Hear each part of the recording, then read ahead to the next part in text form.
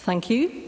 The next item of business is a debate on motion 12855 in the name of Russell Finlay on repealing the Hate Crime Act. I would invite all those members who would wish to speak in the debate to please press the request to speak buttons and I call on Russell Finlay to speak to and to move the motion up to 11 minutes please. Th thank you presiding officer. Uh, three years ago uh, a point of order from Mr Brown. Sorry. M Mr Brown? President Officer, I wonder if you, it's possible if you could clarify that given the terms of the motion that we're about to discuss, which is to repeal the Hate Crime Act, the actual effect of uh, a majority vote for this, which I don't expect to happen, would have no impact on the Hate Crime Act or on the law as it currently stands. I, I thank the member for his uh, point of order. That is, in fact, the, the position per the, the, the standing orders of this Parliament, I think, which everybody is aware of. Uh, and please resume, Mr Finlay. Thank you. I, I had a Keith Brown intervention at 30 seconds in the sweepstake, not three seconds. now, uh, three years ago, Humza Youssef was standing over there, lapping up the applause, basking in the adulation, having delivered the Hate Crime Act. He, what he described at the time as being truly transformative And Humza Yusuf was indeed right. It was transformative, just not in the way that he thinks it was. From April Fool's Day, it's transformed Scotland into a place of international mockery. It's transformed the birthplace of the Enlightenment into a place where free speech has been debased and devalued, a place of sinister police billboards instructing people to snitch on those who hurt their feelings where contentious discussions and disagreements in your own home can result in a knock at the door from the police, where every single complaint, no matter how groundless or absurd, is subject to police investigation, while despairing officers are being told not to pursue real crimes. Welcome to Scotland, home of Hamza Yusuf's hate crime law, aka the Clipes Charter. Uh, I will. Uh, Kevin, uh, Mr Finlay sure. for giving way, and it uh, seems that he has uh, swallowed his own publicity in all of this. Uh, can I ask Mr Finlay if he thinks um, that the harassment uh, and hate of disabled people is a real crime? Ross Finlay. Preposterous intervention. I'm talking about the many thousands of crimes that are deemed to have been not crimes whatsoever. The vast majority of the 9,000 that have been reported to police, that's what we're talking about. Now, as the Scottish Conservative Party and many others warned at the time, this legislation is a disaster. It's a disaster on paper and it's a disaster in reality. And the SNP backslapping of 2021 was crass and ill-judged. The celebration of bad legislation from a government that specialises in bad legislation. Liam Kerr and others worked hard on amendments to fix the worst elements of this bill, and back then just two SNP members defied Nicola Sturgeon's whips to abstain. So how many will find the bravery and the steel to do the right thing today? How many will listen to senior nationalist figures who understand that freedom of speech is much more precious than party loyalty? And, and what of Scottish Labour former leader Joanne Lamont tried to protect the rights of women and girls. The legislation protects men wearing women's clothing, but not women. When jo Joanne Lamont's amendments failed, she voted against the bill, along with one other Labour member. And as usual, Anna Sarwar sided with the SNP, and not for the first time and not for the last time. And will they repeat that same mistake today? Trading off, that the chilling effect of this legislation is real. Some fear being subject to investigation and prosecution for stating the truth about biological sex. When J.K. Rowling put this to the test on social media, Police Scotland confirmed that she had not committed a hate crime. But what about those without her cash and clout? Even if prosecutions are unlikely, being subject to an investigation can be daunting disruptive, humiliating and financially costly. Police arriving at your home or workplace, taken away in handcuffs, phone seized, forced to pay for a lawyer, stigmatising and damaging to personal reputations and employment prospects. And I'm particularly struck by the phrase, the process is the punishment. I'll do so in a minute anyone who's ever taken on Scotland's powerful and unaccountable public bodies will know exactly what this means. Even before this act was enforced, a street preacher in Glasgow was wrongfully arrested over false hate crime allegations. I'll give way. Cabinet Secretary. Could, could we have uh, the Cabinet Secretary's microphone, please? Cabinet Secretary. My apologies, Presiding Officer. Would Mr Finlay, as a matter of factual accuracy, uh, concede and put on record that built into this legislation is protection of freedom of expression, yeah. including, including that criticism or commentary on any protected characteristic is not to be mistaken as hatred or abuse?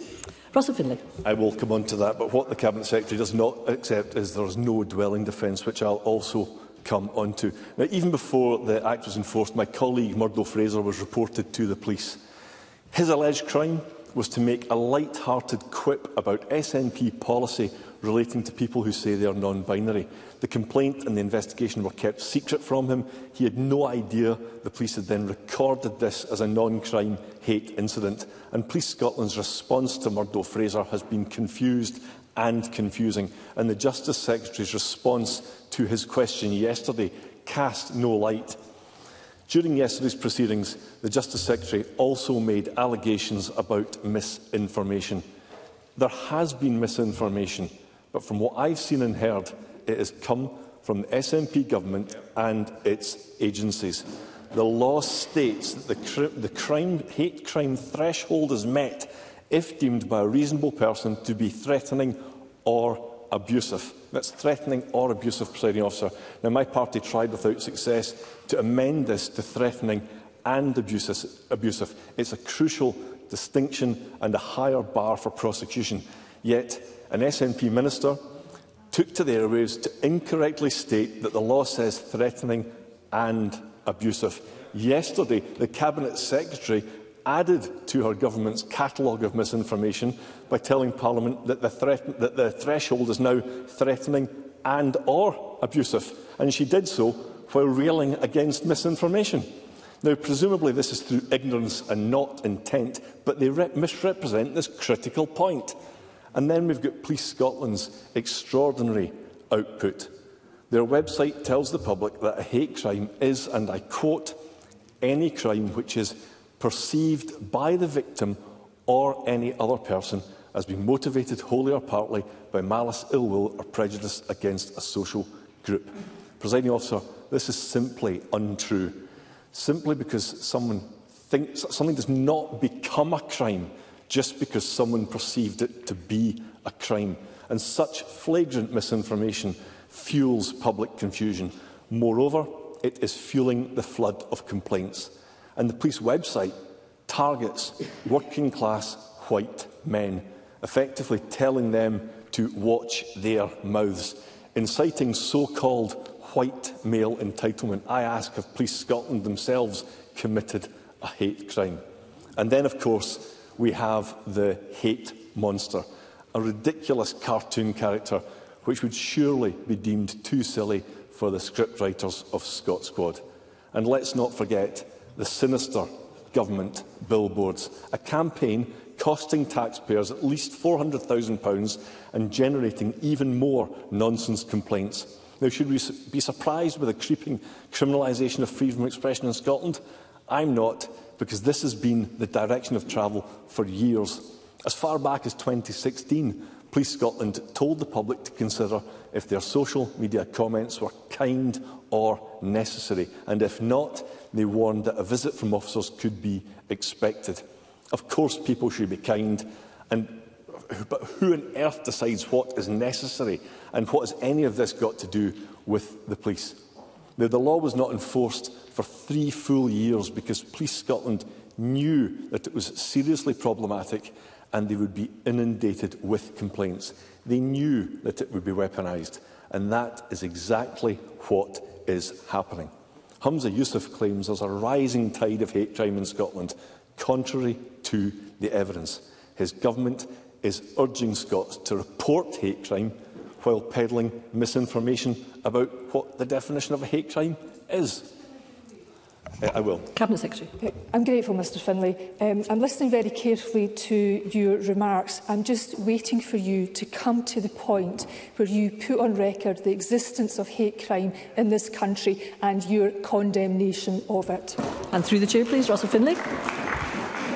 On the day this legislation was enacted, the SNP Justice Secretary was enjoying a nice jigsaw puzzle. Meanwhile, on our streets, overstretched police officers were dealing with a much harder challenge. Days ago, HMICS report here told of Police Scotland officers being, feeling unsafe right, and unable to do their jobs, constantly being told to do more with less. Yet these same exhausted officers are now being ordered by the SNP to police our speech Hundreds of officers have still not been trained in the new law. Before recess, the Justice Committee asked for the training material, but we weren't given it. No wonder, as officers say, it is wholly inadequate. The Scottish Police Federation deserve great credit for standing firm against the breathtaking government spin. We keep being told that the tsunami of spurious complaints will have no detrimental impact on investigating real crimes. This is patently untrue, as Federation officials patiently explain. I despair at this government's sneering sense of moral superiority and failure to tackle the issues that truly matter. I'm sorry, I don't have time. Never mind plummeting education standards and classroom violence, never mind the tragedy of record drugs deaths, never mind a stagnant economy stymied by hostile ministers, never mind islanders reliant on a fleet of decrepit ferries, never mind our NHS being neglected by a disgraced ex-health secretary who was more interested in keeping his job, and never mind the filth and squalor on our potholed streets. Nope, never mind the day job, when this government would rather virtue signal and preach to ordinary Scots about what opinions are deemed to be acceptable. It's pious, it's puerile and it's patronising. MSP should start listening to the majority of people in Scotland who agree with the Scottish Conservatives. This is about freedom of speech. It's about bad legislation. It's about letting our police officers do their jobs. This is about rejecting division by turning Scot against Scot to clipe on friends, colleagues and family. And based on the evidence, we were right to vote against this law three years ago, and based on the evidence, we are right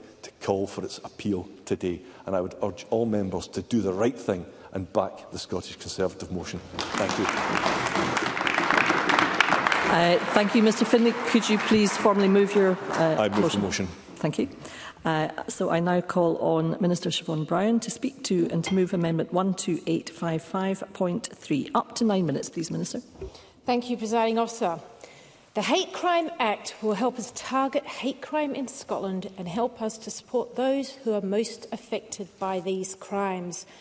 I'd firstly like to respond to some of the points that have just been made in relation to the Hate Crime Act. Over the past two weeks since its implementation, the Scottish Government has responded to numerous media statements combating misinformation which is still regularly regurgitated and indeed here in this chamber. To dispel this misinformation, it is perhaps beneficial for me to set out again what the Hate Crime Act does. This is an act designed to consolidate existing legislative pr protections against offences aggravated by prejudice against the following five characteristics disability, race, religion, sexual orientation and transgender identity. This is the exact same group of characteristics that are protected in England and Wales under the current hate crime legislation. And this Parliament ag agreed to add the additional characteristic of age, which has been welcome. We know the impact on those who suffer from hate crime can be traumatic and it can be life-changing, and we want to ensure that we can protect those affected. But the Conservatives would have this Parliament remove those protections. Hate crime, as set out under the Act, is a behaviour which is both criminal and rooted in prejudice, and where the offender's action has been driven by hatred towards a particular group. But the Conservatives would have this Parliament repeal it.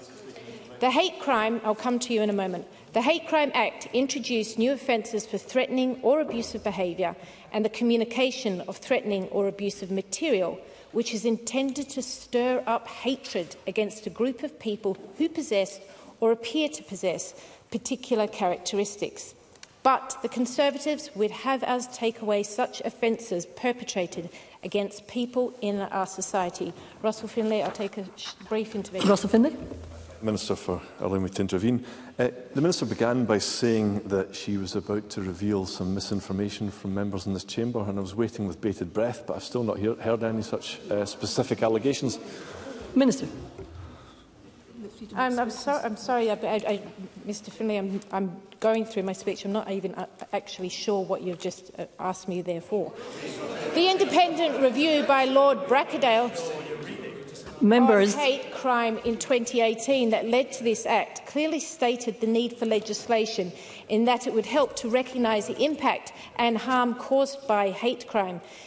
and saying I would and I quote stirring up hatred may lead to violence or public disorder the conservatives want us to ignore this harm this Act does not prevent people expressing controversial, challenging or offensive views as this has clearly been demonstrated, nor does it seek to stifle criticism or rigorous debate in any way, and the right to freedom of expression has been specifically uh, brought into this, built into this Act. This legislation also provides a high threshold for criminality, and for these new offences, it has to be proven that the behaviour is threatening or abusive and it has the intention to stir up hatred. This is a higher threshold for a crime to be committed under the Act than the offence of stirring up racial, racial hatred, which has been in place since 1986 in Scotland. Ms Thompson? Michelle Thompson. Uh, thank you for giving it away. Just on that point, I, I wanted to be able to uh, enable the Minister to set the record straight today. I'm not sure what actions Police Scotland are taking to incorporate the precedent set in Miller versus College of Policing in December 2021. And of course, this applies to England and Wales, where it was determined that the policy of reporting for non-crime hate incidents breached Article 10. Now, I understand that Police Scotland reported in their bulletin of April to September 2023 to adopt the policy But to what extent have they done so? And can the Minister today set out the specific details of has it been fully incorporated? Is it being incorporated into by a stage process? Thank you. Thank you, Minister. I'll give you your time back. Thank you for the intervention. First of all, non-crime in incidents is not related to this Hate Crime Act in any way. And as we know, recording on non-crime hate in incidents is an approach across the whole of the UK. I am aware of the Miller recommendation that has been implemented in England and Wales, and Police Scotland have indicated they are currently reviewing it for implementation in Scotland. Presiding officer, since 2014 to 15, an average of 6,700 hate crimes have been recorded by the police each year. In 2021 to 22, there were 6,927 hate crimes recorded by the police, and of those, 62% included a race aggravator, 27% for sexual orientation, and 8% for disability, highlighting the clear need for hate crime legislation.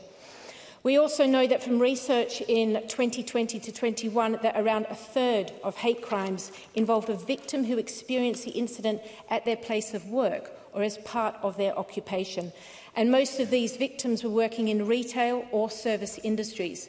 And this is not including the police. The same research shows that almost a quarter of all victims recorded in 2020 to 2021 were police officers. We have worked very closely with our justice partners, including Police Scotland, since the Act was passed in 2021 to ensure that its implementation and delivery would be robust. And I am grateful to Police Scotland for their outstanding dedication and their professionalism since this Act has come into force. Within the first week, Police Scotland received over 7,000 reports of hate crime, of which the vast majority were assessed not, assessed not to be criminal. And over the same week, 232 hate crimes were recorded and 30 non-crime hate incidents. There have been reports of individuals and groups exploiting the new legislation to make vexatious complaints in order to overwhelm police systems.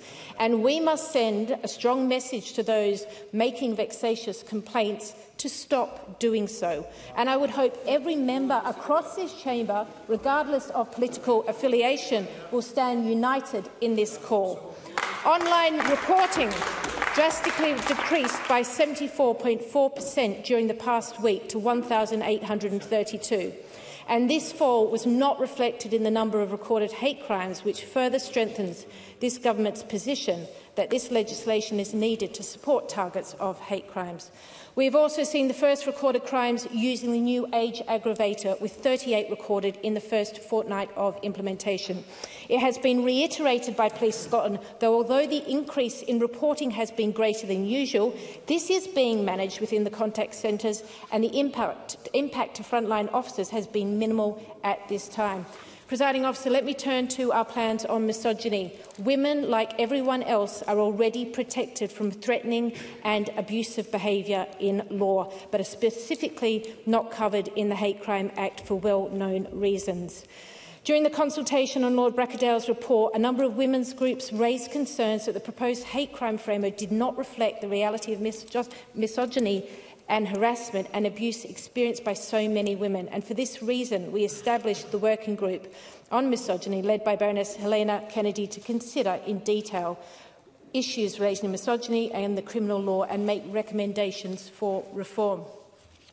We consulted on draft legislation to implement the report's recommendations in 2023 and we will inform a final bill which we will introduce this year. Presiding officers, during the development of the hate crime strategy, we heard from people who felt unable to leave their homes due to the fear of being targeted by hate crime. This Hate Crime Act will go some way to providing some, the people with confidence to carry out their lives in a safe manner. The Conservatives call today to repeal the Hate Crime Act, and let me be crystal clear. This government has no intentions to repeal the Hate Crime Act. Repealing the Act in full would leave Scotland as the only country in the United Kingdom without specific legislation to protect communities from hate crime. Why would anyone not want our communities protected from hate and crime?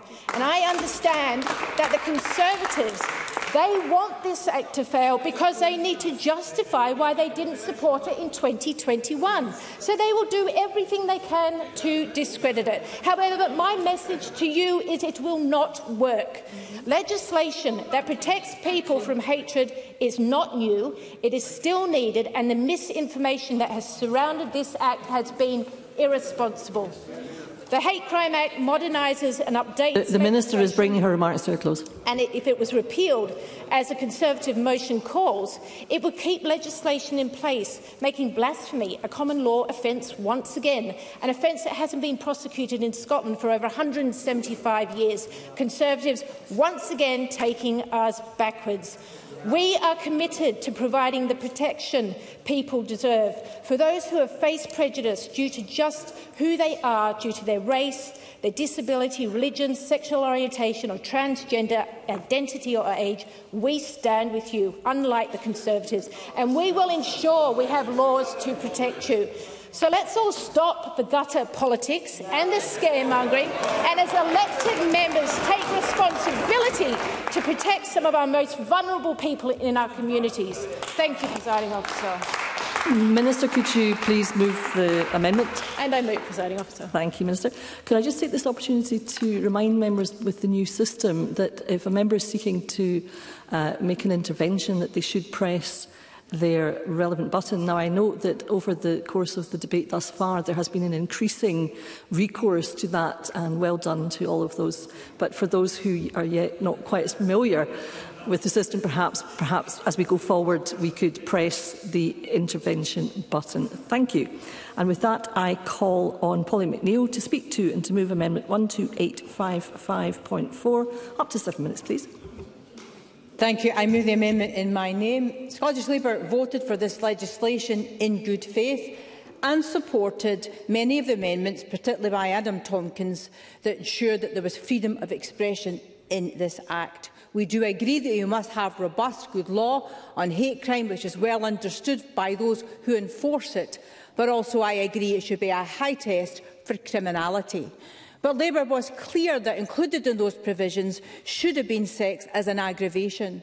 And three years on, there is still no sign of the legislation which was promised within one year of passing the 2021 Act. So we call on the Scottish Government now, in view of that, to reconsider and bring sex as an aggravator now. Now, the First Minister did not help support women trying to make sex... I'll come to a minute because I want to make this point. The First Minister did not help get the support of women trying to make sense of what's happened in the last few weeks by refusing to make the distinction between sex and gender when he was interviewed on BBC Scotland this week. I'll take an intervention from Liam Kerr. Liam Kerr. I'm, I'm very grateful to the member. I remember at stage two, Pauline McNeill arguing very strongly for a sex aggravator, uh, and Scottish Conservatives voted with Labour to get that in. But under Humza Yousaf's whip, the SNP, the Greens and the Lib Dems specifically opposed it. Uh, does she feel that she has been utterly let down by Humza Yousaf, the former Justice Secretary? Pauline McNeill. Well, I've been quite clear, as Scottish Labour has, I think it was wrong not to include it, and I think what the last two or three weeks has exposed is that the government should reconsider their position now that they know that although the misogyny law is a good law, it's going to take four years before it goes in the statute books. Because for us, Scottish Labour, the purpose of this debate is to test the government's uh, to, uh, to address some of the problems serious problems that have happened over the last few weeks. The implementation of the hate crime bill has been a shambles. 8,000 reports of hate crimes in the first few weeks have brought officers back to do overtime shifts and the Scottish Police Federation saying it's taken an extra 40 officers a day to deal with the responses to the legislation and not to mention the hapless hate monster campaign. Now, the government is going to say that this will calm down in time, but the problem is that the, already the public is beginning to lose confidence in this legislation, which is why Scottish Labour are calling for an urgent post-legislative scrutiny of the Act to review the poor implementation and the confused communication to address the real issues that have arisen from the 1st of April. But police are required to investigate all alleged offences, no matter how trivial or vexatious they are, and because of this requirement, Lord Hope, who used to be Scotland's most senior judge, has commented that the Act has placed an extraordinary burden on the police. So the government have got to address this important point. And fewer than 4% of the 8,000 reports in the first week went on to be assessed as actual crimes. Now, the Cabinet Secretary said yesterday that the policy which which Michelle Thompson is right to raise on the non-crime hate incidents from the Stephen Lawrence inquiry report following a successful legal challenge. England and Wales are no longer doing this. Now, I listened yesterday to the Cabinet Secretary in response to Murder Fraser, and I am still no clearer as to whether the non-crime hate incidents recorded by the police uh, uh is, is counting towards disclosure certificates, for example. There must be a review into the recording of hate incident reporting, which I know is not part of this legislation, but it has exposed this.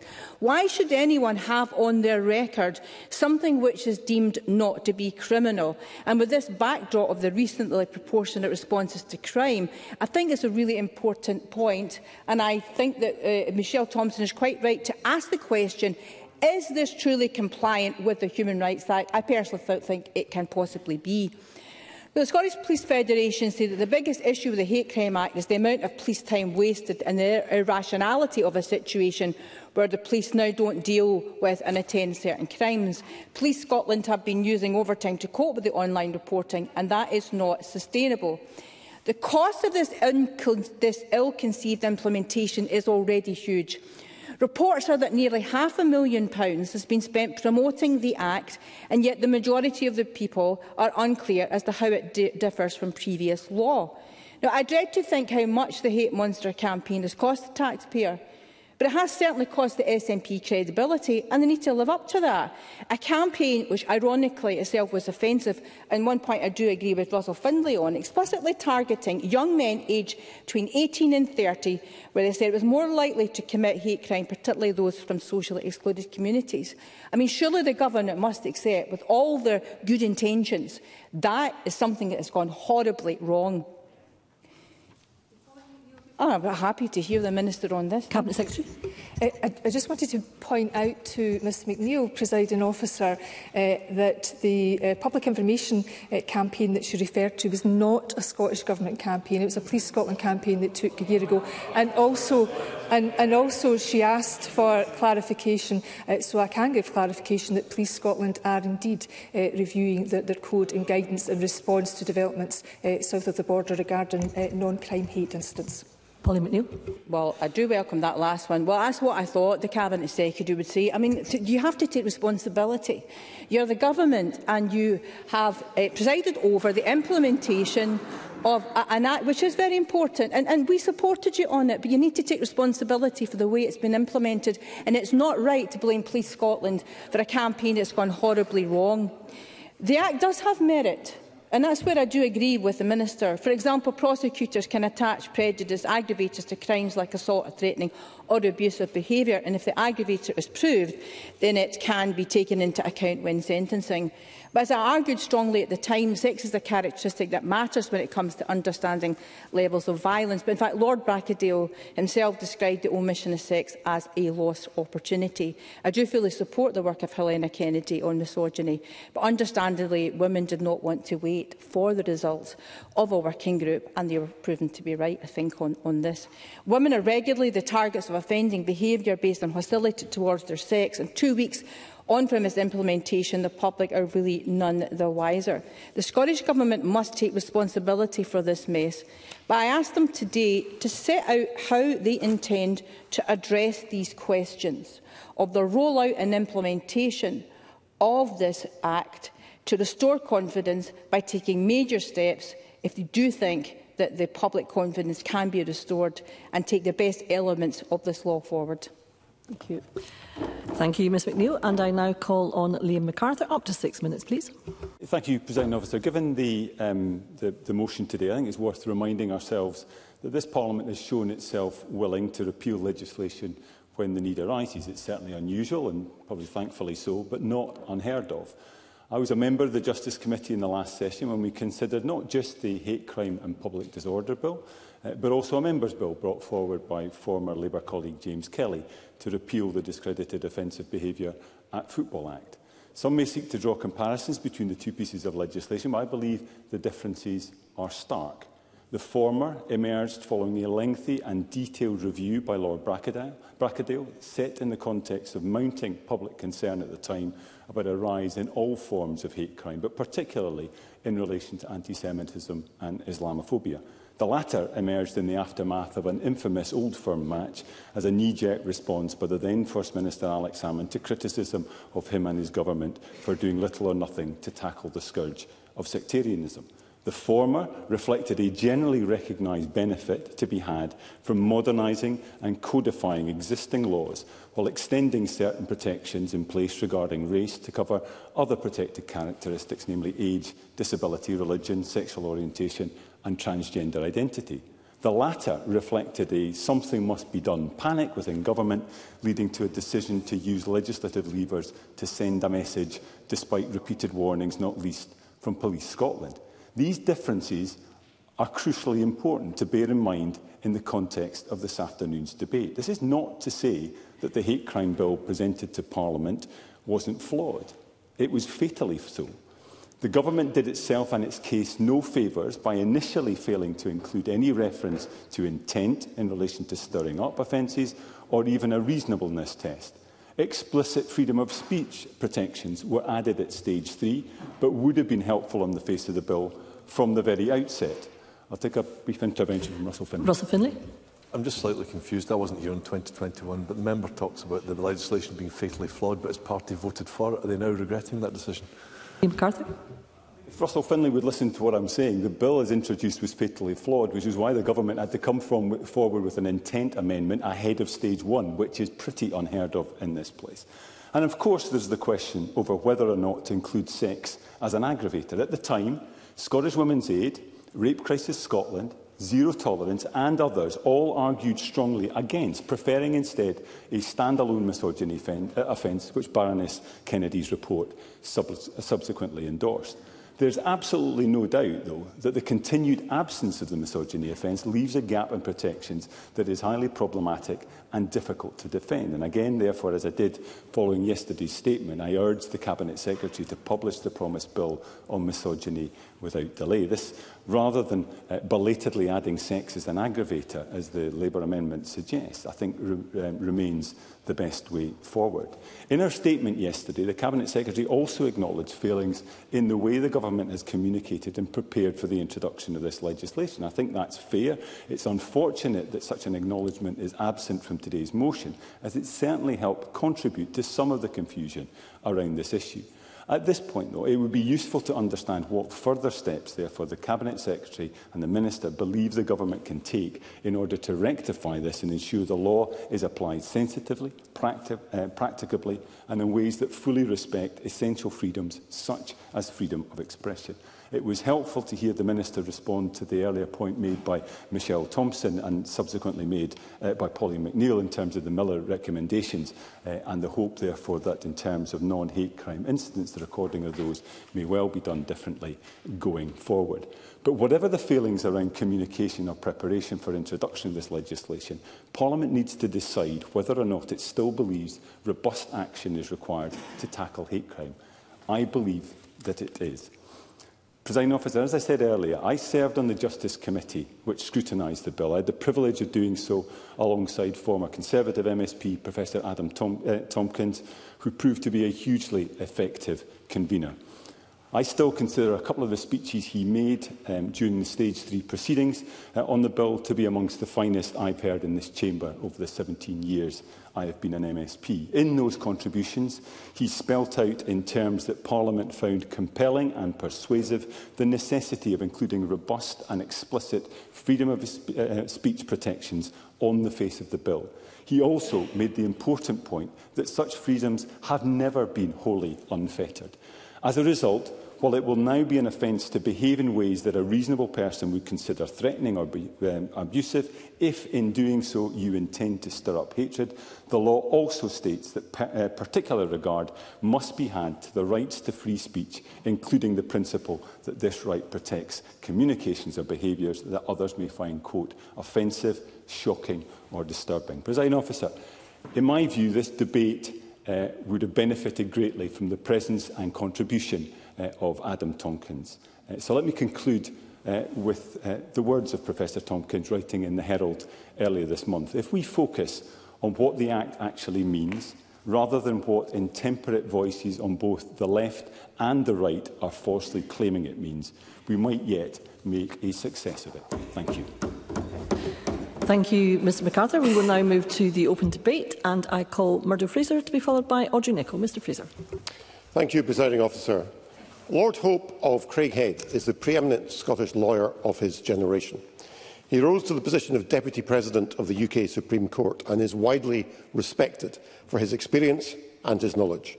Last week, in a newspaper article, he called for the Hate Crime Act to be repealed. He is joined in his criticism of the Act by a broad range of other opinion, including Joanna Cherry MP from the SNP, from representatives from ALBA, by a wide range of academics, commentators and lawyers, and even significantly, as Russell Finlay reminded us, by the police themselves, with representatives both of the rank and file and of senior police officers expressing their serious concerns about this legislation. And I make that point because it is not just the Scottish Conservatives who are calling for this act to be repealed. That may be the case in this chamber, but in wider Scottish society, Our call is one which has extensive backing. And I know that both Labour and the Liberal Democrats voted for this Act in 2020. And I would say to them both, there is no shame in now accepting that that decision was a mistake. And in the light of experience, and in particular the shambolic fashion in which this Act has been introduced and the pressure it is putting upon an already hard-pressed police force in them reconsidering that decision and joining us in backing its repeal. Now, presiding officer, I would like to focus my remarks on the issue of non-crime hate incidents, which a number of members have already referred to, something not actually part of the Hate Crime Act, but, but closely related, and where we will see, I expect, many more incidents being recorded as a result of the Act's introduction. In November last year, a social media post of mine critical of Scottish Government gender policy was reported to the police by a trans rights activist as a hate crime.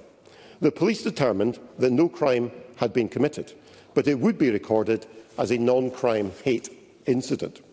I was not informed of this, and indeed I would still be unaware had the activist in question not then reported me to the Ethical Standards Commissioner.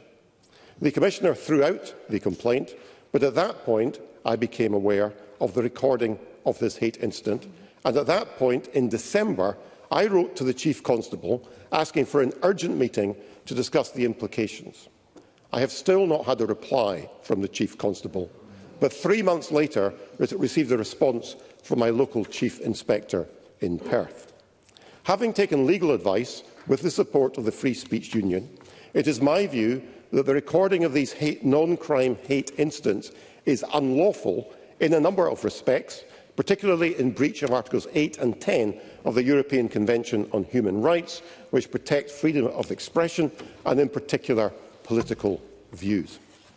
And it is significant that the police in England and Wales had to change their policy on the recording of non-crime hate incidents based entirely on the perception of the complainer, following the judgment in the Court of Appeal in the case of R on the application of Miller versus the College of Policing, already referred to by Michelle Thompson and others.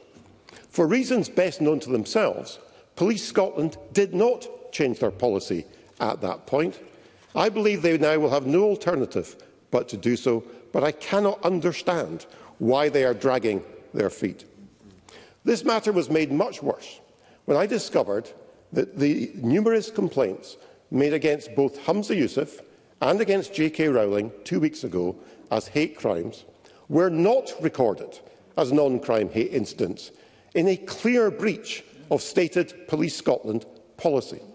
Now, I have been in correspondence with the police around this issue, but they have been unable to provide me with any satisfactory explanation as to why a different approach was applied in my own case as opposed to that of the First Minister. Uh, uh, in a second.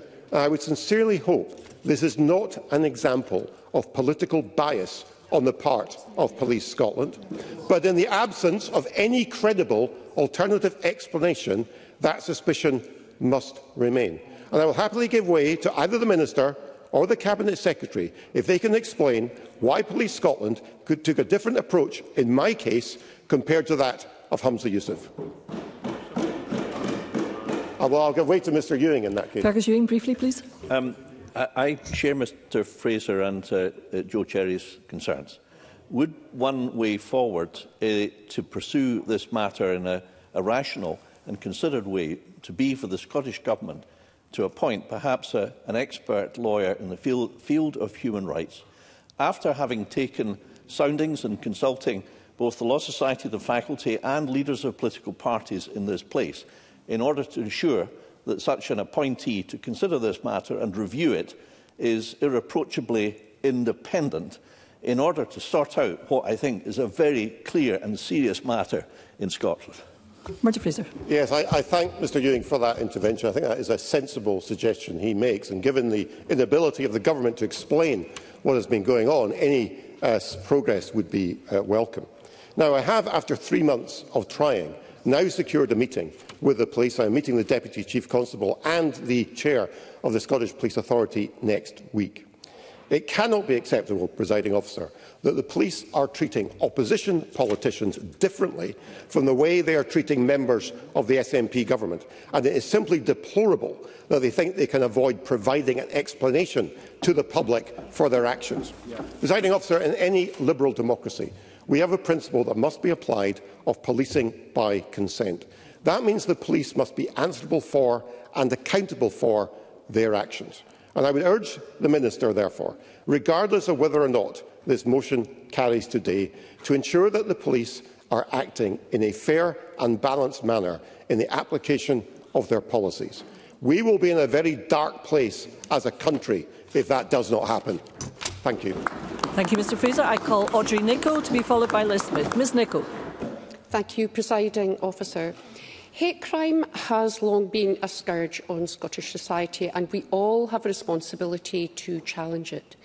The Hate Crime and Public Order Scotland Act was passed by a majority of MSPs in March 2021 following the independent review of hate crime legislation undertaken by Lord Bracadale. And in his report, Lord Bracadale reminds us that legislation will not change attitudes on its own, but clearly defined legislation and well-developed procedures will increase awareness of hate crime and can contribute to attitudinal change.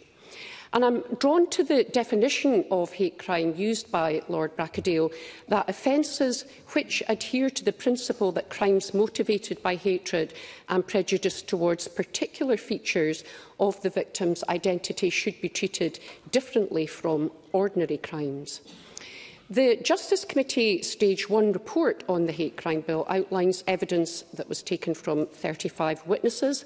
Over 2,000 written submissions were received and research commissioned to assist eh, scrutiny on elder abuse and approaches in other jurisdictions.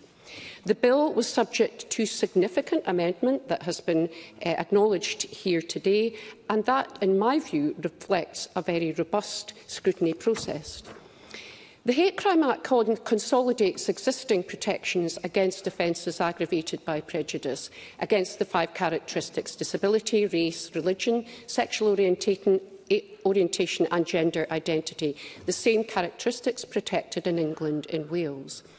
And it includes age as an aggravation and introduces the new offence of stirring up hatred against people by reason of their possessing particular characteristics.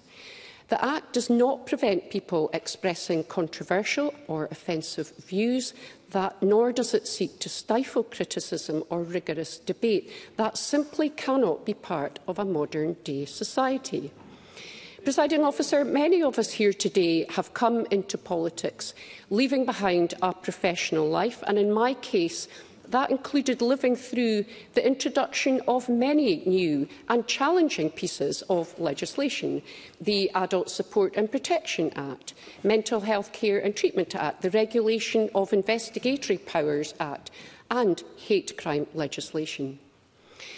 The reality that legislation is that legislation takes time to bed in, for practice to adapt, for officers to build confidence and experience using new law, and for the public to understand what new law means for them. Not for one second can we diminish the importance of making good law that is effective in its purpose, the importance of effective training and guidance, And not for one second can we underplay the need for a communication strategy that leaves the public in no doubt about what the new law means for them, a point acknowledged in the Cabinet Secretary's statement earlier this week. So turning to the motion to repeal the Hate Crime Act. No context, no detail or evidence, no proposal for a replacement and no acknowledgement of the consequences of repeal on legal practice and minority groups. The Labour amendment does not acknowledge it is a matter for Police Scotland and the Scottish Police Authority to ensure officers are work-ready, well-trained and competent in their application of the law. And it also calls on the Scottish Government to urgently review the implementation of the Act, but I'm really not clear what that relates to, possibly uh, the public education point that Katie Clark raised during uh, her question uh, to the Cabinet Secretary during yesterday's statement. And on that point about reviewing the operation of the Act, this fails to acknowledge the reporting requirement in sections 14 and 15 of the Act that requires the Scottish Government to publish reports on hate crime convictions and hate crime recorded by the police. Neither the Tory motion nor the Labour amendment makes reference to the fact that Police Scotland is accountable to the Scottish Police Authority. Indeed, the SPA has been tracking and analysing reporting since the 1st of April. That is their role. And of course, as has been previously mentioned, there is a post-legislative scrutiny embedded in this Parliament that exists to consider the effectiveness or otherwise of law. Presiding officer, through the cloudy landscape of media discourse, there have of course been some glimmers of positivity. Professor Adam Tompkins, Justice, convener, Justice Committee convener, during the passage of the bill, has stated that the new Hate Crime Act has been misrepresented by interpret, temperate voices on the left and the right. And James Chalmers, Regis Professor of Law at the University of Glasgow, describes the Hate Crime Act as providing a more accurate label for prosecuting serious cases of hatred. And earlier this week, Andrew Tickell, senior lecturer in law at Glasgow Caledonian University, commented, Can it seriously be the Scottish Tory policy that harassing the disabled, assaulting ethnic minorities and daubing anti-Semitic abuse on synagogues should not be treated in Scots law as aggravated by prejudice? Because that is a big part of what repealing the hate crime would uh, The member is about to conclude. Thank I you. sincerely hope not. Hate crime is everyone's business and it ruins lives. I hope today's debate is more about political gesture rather than a serious proposal, and I urge members to support the Scottish Government amendment. Thank you, Ms Nicol. I call Liz Smith to be followed by Cara Mockin. Ms Smith. Uh, thank you. In uh, this is uh, Parliament's uh, 25th anniversary year. The thoughts of many journalists and commentators just now are rightly focused on how well it is functioning – particularly are we capable of passing good law?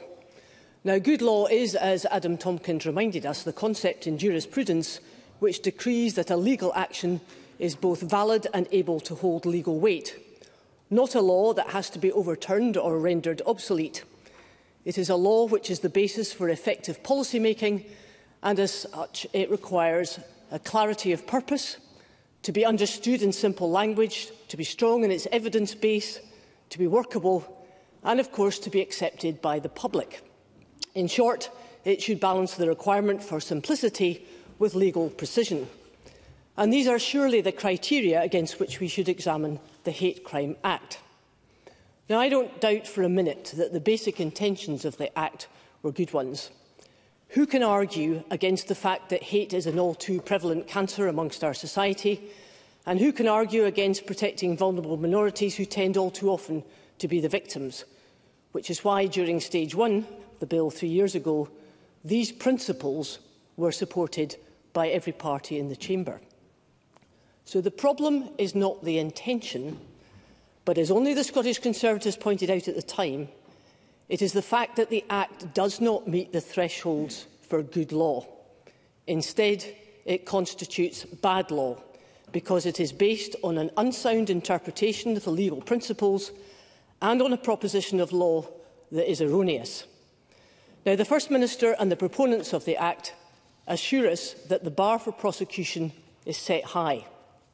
But then we find out that the police have been recording hate incidents even if they do not meet a criminal threshold.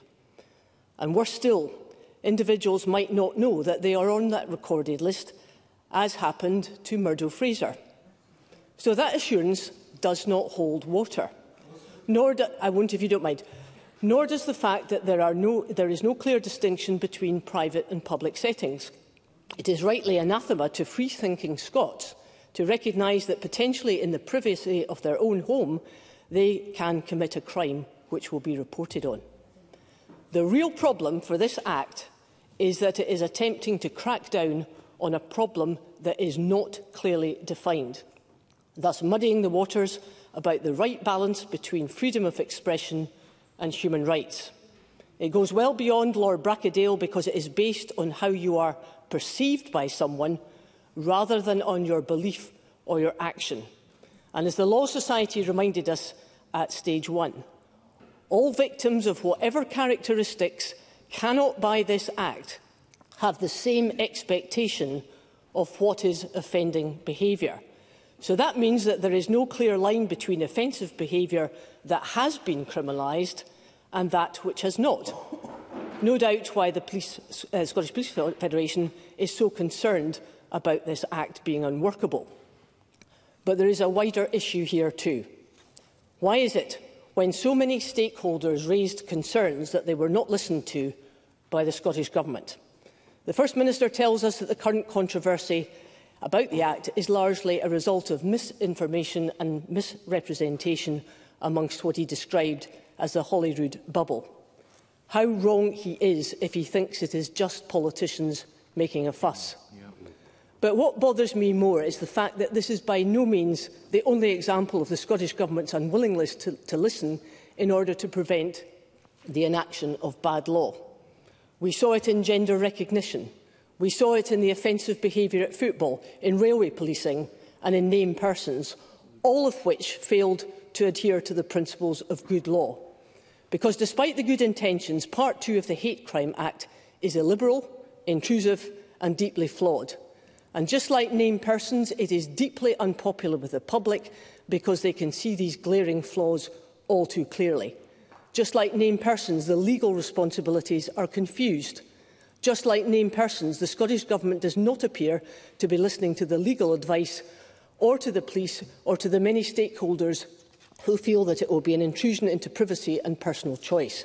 And just like named persons, fair-minded people can see that the bill as it currently stands is unworkable.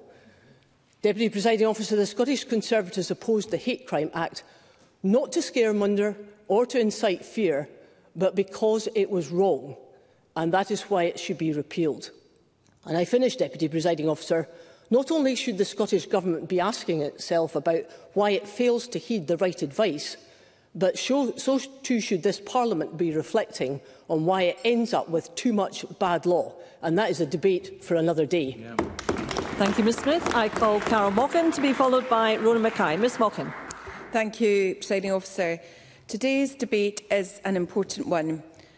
because we need robust, good law and we must discuss if things have not gone well. In my view, the SNP have yet again failed to effectively implement important legislation. Constituents are telling me that the SNP run a government founded upon incompetence And in the last few days and weeks, they, the government, have been in denial about the strength of feeling across communities on this issue.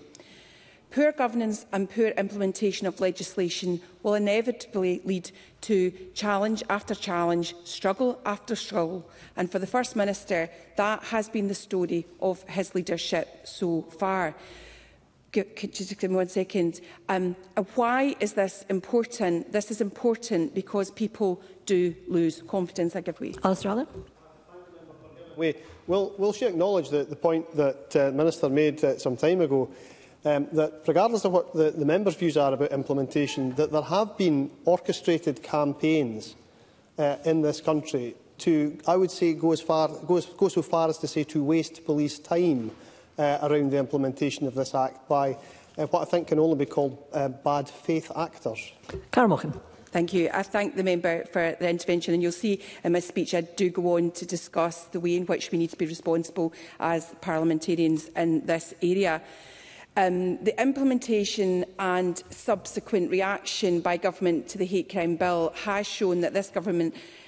uh, has shown that this is a government that is not performing. It is a government completely out of touch. And again, I want to raise the issue. And the reason that this is important is because it causes our communities to lose faith. Now, as noted by my colleague Polly McNeill, the SNP had an opportunity to show that this Act could be sensibly and correctly implemented. But instead, we have ended up with a disastrous mes messaging system while completely failing to resource and train Police Scotland. This is not an issue on which the SNP can employ their sort of usual dither and delay tactics. It does actually need urgent and purposeful action to correct things before our communities do completely lose faith As we have heard, um, uh, of course, uh, Minister. Thank the member for the intervention. I, I think it's really important. For the last year, I've met regularly with justice partners, including Police Scotland, and we were not going to implement this act until Police Scotland were ready with the implementation of the computer system and in training, and that's where the date was on Police Scotland's terms. Carmochan. Thank you. You know, I, I think if we if we do have a, a mature debate about this, we, we can see that Police Scotland um, are struggling. We know that they are under-resourced and we know that the training in place was only a, a, a small two-hour uh, package. And, and we can see from this important legislation that was not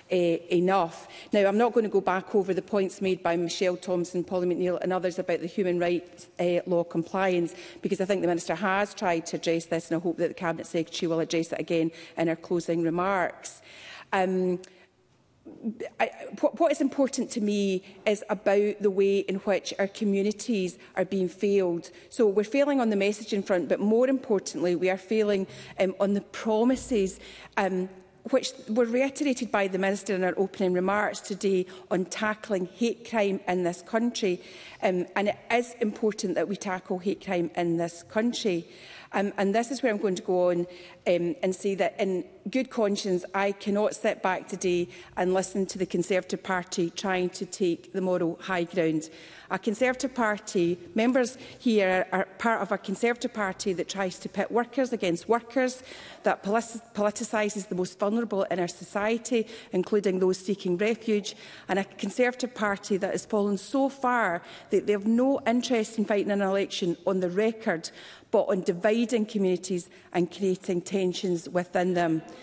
I would urge the public, not at this point, I would urge the public to see the move on the Conservatives today not as a movement in favour of freedoms of speech and expression, but rather as a further attempt to exploit often most vulnerable peoples in our community.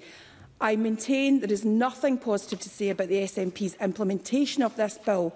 But the Conservatives' approach um, is, in my view, opportunistic. Um, and I do have confidence that the public will see it. Of course, of course. Liz Smith.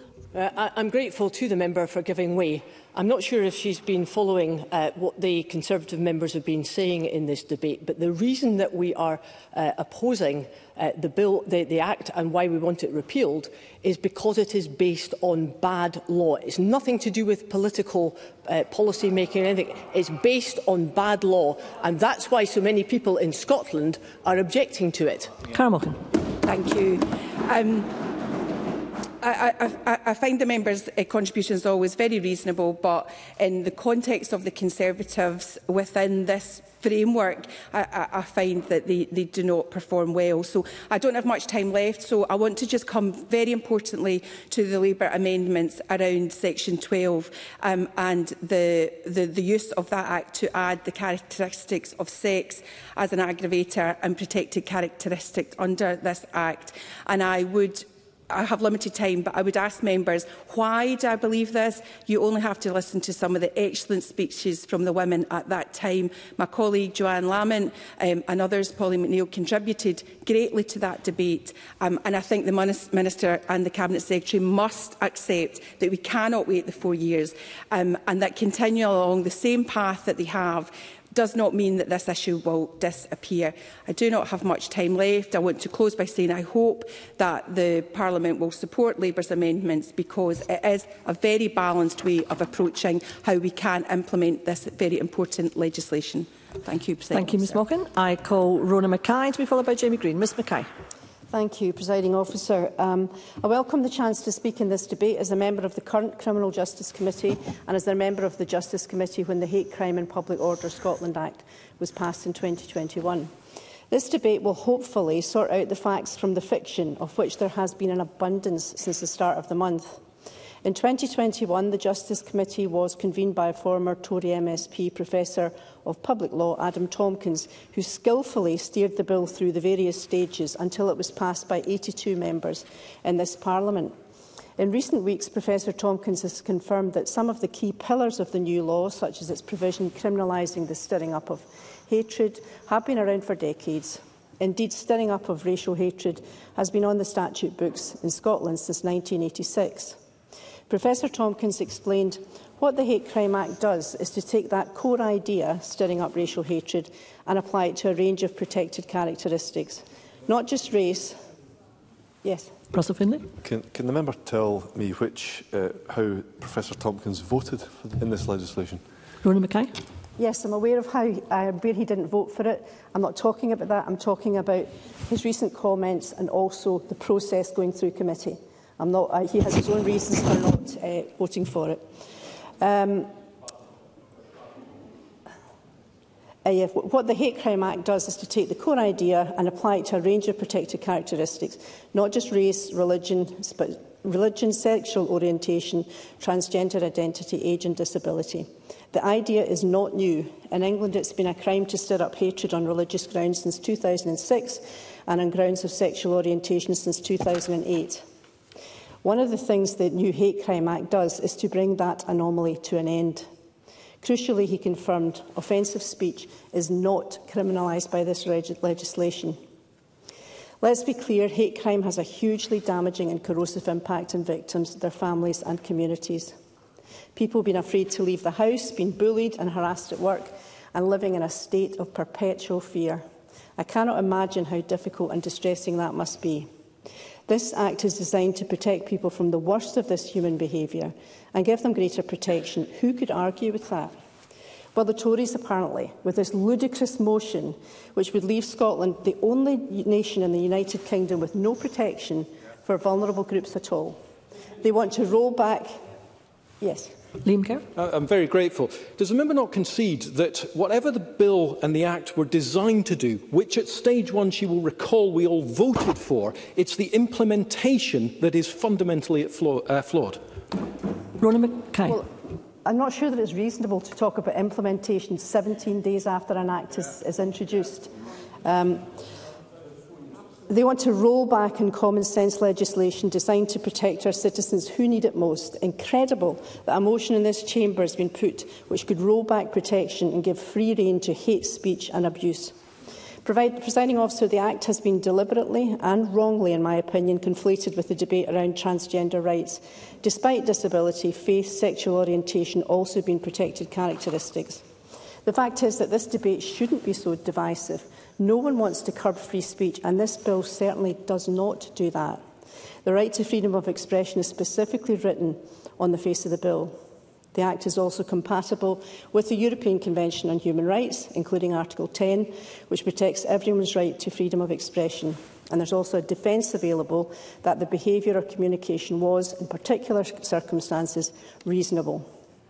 The new laws were developed following Lord Brackadale's independent review of hate crime legislation, which concluded that new specific offences relating to stirring up hatred were, were needed.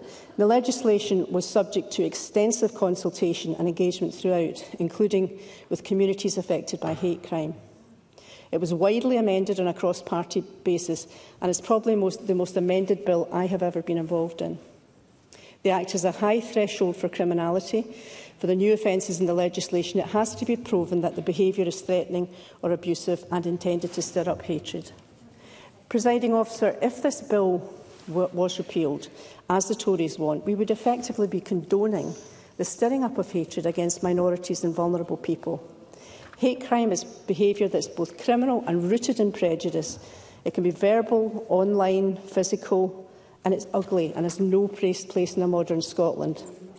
A modern Scotland where our police officers are trained to combat prejudice. The pity is that such is the level of misinformation Police Scotland have had to correct inaccurate media reports about training materials. A level of misinformation that has opened the doors to a flood of vexatious, anonymous reports to the police, and I'm willing to bet that they come from people who complain that the police don't have time to fight crime. The irony is astounding. In conclusion, presiding officer, I find it interesting, but probably not surprising, sadly, that the stushy around this act didn't take place in any other part of the UK or internationally where hate crime uh, takes place, uh, hate legislation is in place. The underlying reasons for this are, of course, open to debate. Presiding officer, I want my children and grandchildren to grow up in a Scotland without hate and prejudice, to know that everyone is equal, whatever their race, disability, transgender identity, sexual orientation or age. Repealing this Act would do future generations a great disservice, and Scotland deserves better. I will not support this motion at decision time. Thank you, Ms Mackay. I call Jamie Green to be followed by Stuart McMillan. Mr Green. Thank you, Presiding Officer. I really need to clear something up. Uh, having a problem with this bill does not and never will mean that we condone hatred in any shape or form. And I say that, and I say that directly to the members who've stated that, because hatred in all its forms is wrong.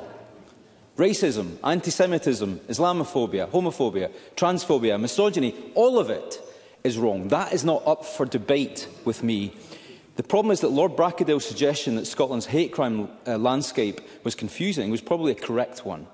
The early incarnation of the hate crime legislation was probably well meaning. We never disagreed that tackling hate crime was important. We never disagreed that the bill itself improved as it went through the legislative process. But we were also clear that our red lines had been crossed. And much has been said of Professor Tompkins, who's not here to speak. But what he did say is a matter of record. He voted against that bill, and here is why. Here are his own words. Even amended, after all the work we have done, the bill continues to pose a real risk to our fundamental rights and liberties. It's there in black and white. So he and we and eight others in this chamber did not support the final proposal. It's interesting that none of those eight are still in this parliament today. But Liz Smith is absolutely right. Bad law with good intention was becoming the norm in the last session of this Parliament. Laws which created confusion rather than clearing it up were becoming the norm as well. You know, at least the Offensive Behaviour at Football Act, one such error, in my view, was repealed when this Parliament finally showed some grit and showed some teeth. Those were the days.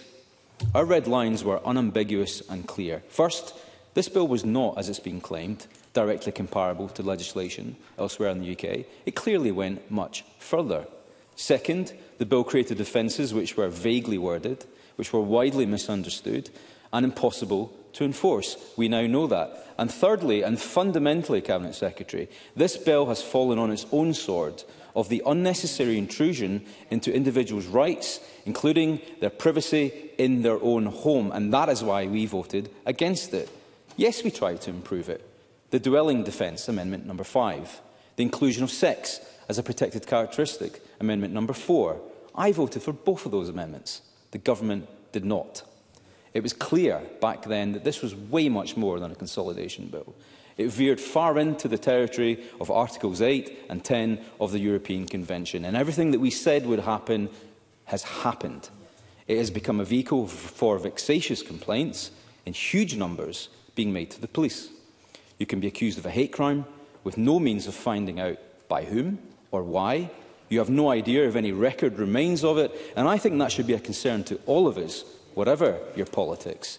The question was never about whether we were for or against tackling hatred. That's a nonsensical argument. It's about whether this law was the right way to go about it. Was it clear? Was it proportionate? Was it enforceable? And if it failed those tests, I would not support it, and I did not support it. Look, like many people, albeit for different reasons. I've had my fair share of bigotry over the years. I know that because my poor office staff have to delete most of it, and my poor mother reads the rest of it on Facebook. But the question is how I choose to respond to it. And more importantly and philosophically, do people hold the fundamental right to hold views towards me which I or others find offensive? Back in 2021, Hamza Yousaf, then Justice Secretary, was clear.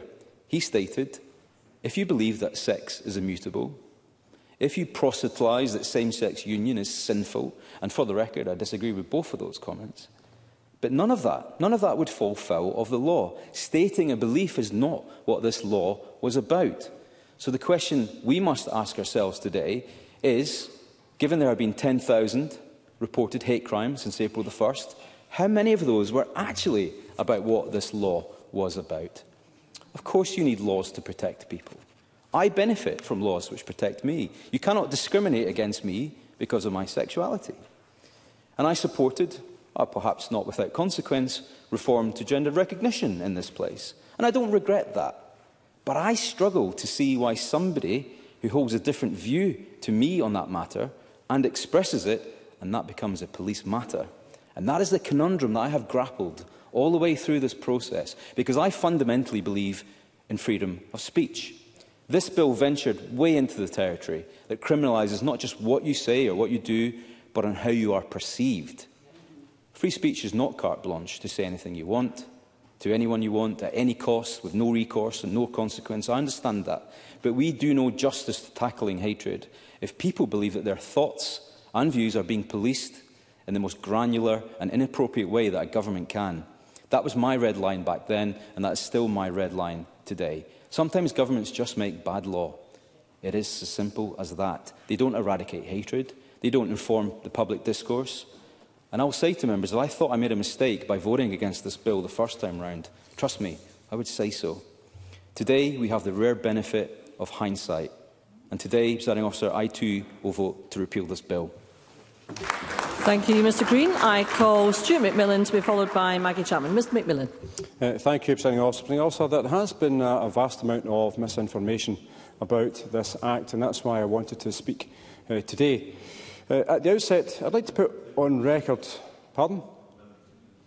Okay.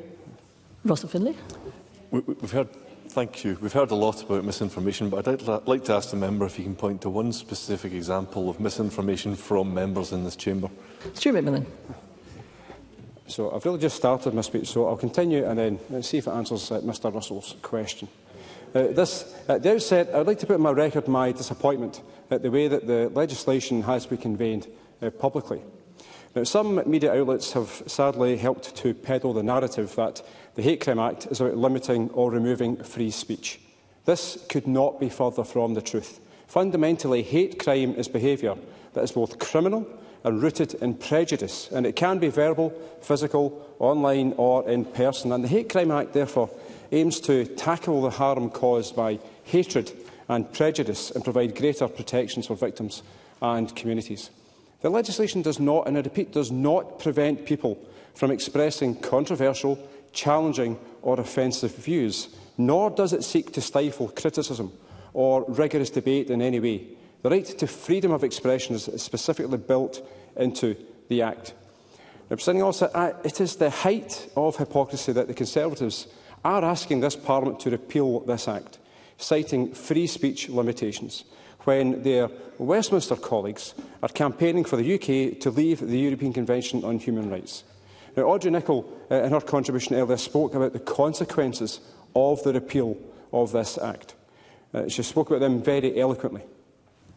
Pauline McNeill. So thank you. Um, I quite agree with the member. The, the tension behind the Act was that, uh, importantly, it was amended as such so that people could express their views, even if they were insulting or offensive. But I just wondered if the member has given thought to what Murdo Fraser said. If there's a high bar for criminality, why are we experiencing these issues where people are being reported to the police for something which should be nowhere near a police station? Stuart McMillan. I think there was a comment from one of my colleagues earlier. Uh, I mean, uh, I mean, I know Polly McMillan posed that question uh, with, a, a genuine uh, question. One of the, my colleagues earlier spoke about the, um, some of the, the, the actors out there uh, in society who, who certainly do not want this act to succeed.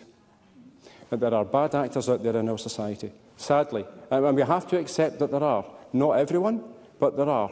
And, and certainly, in my opinion, uh, some of those bad actors will also have had an effect upon what's happened in the media over the last couple of weeks.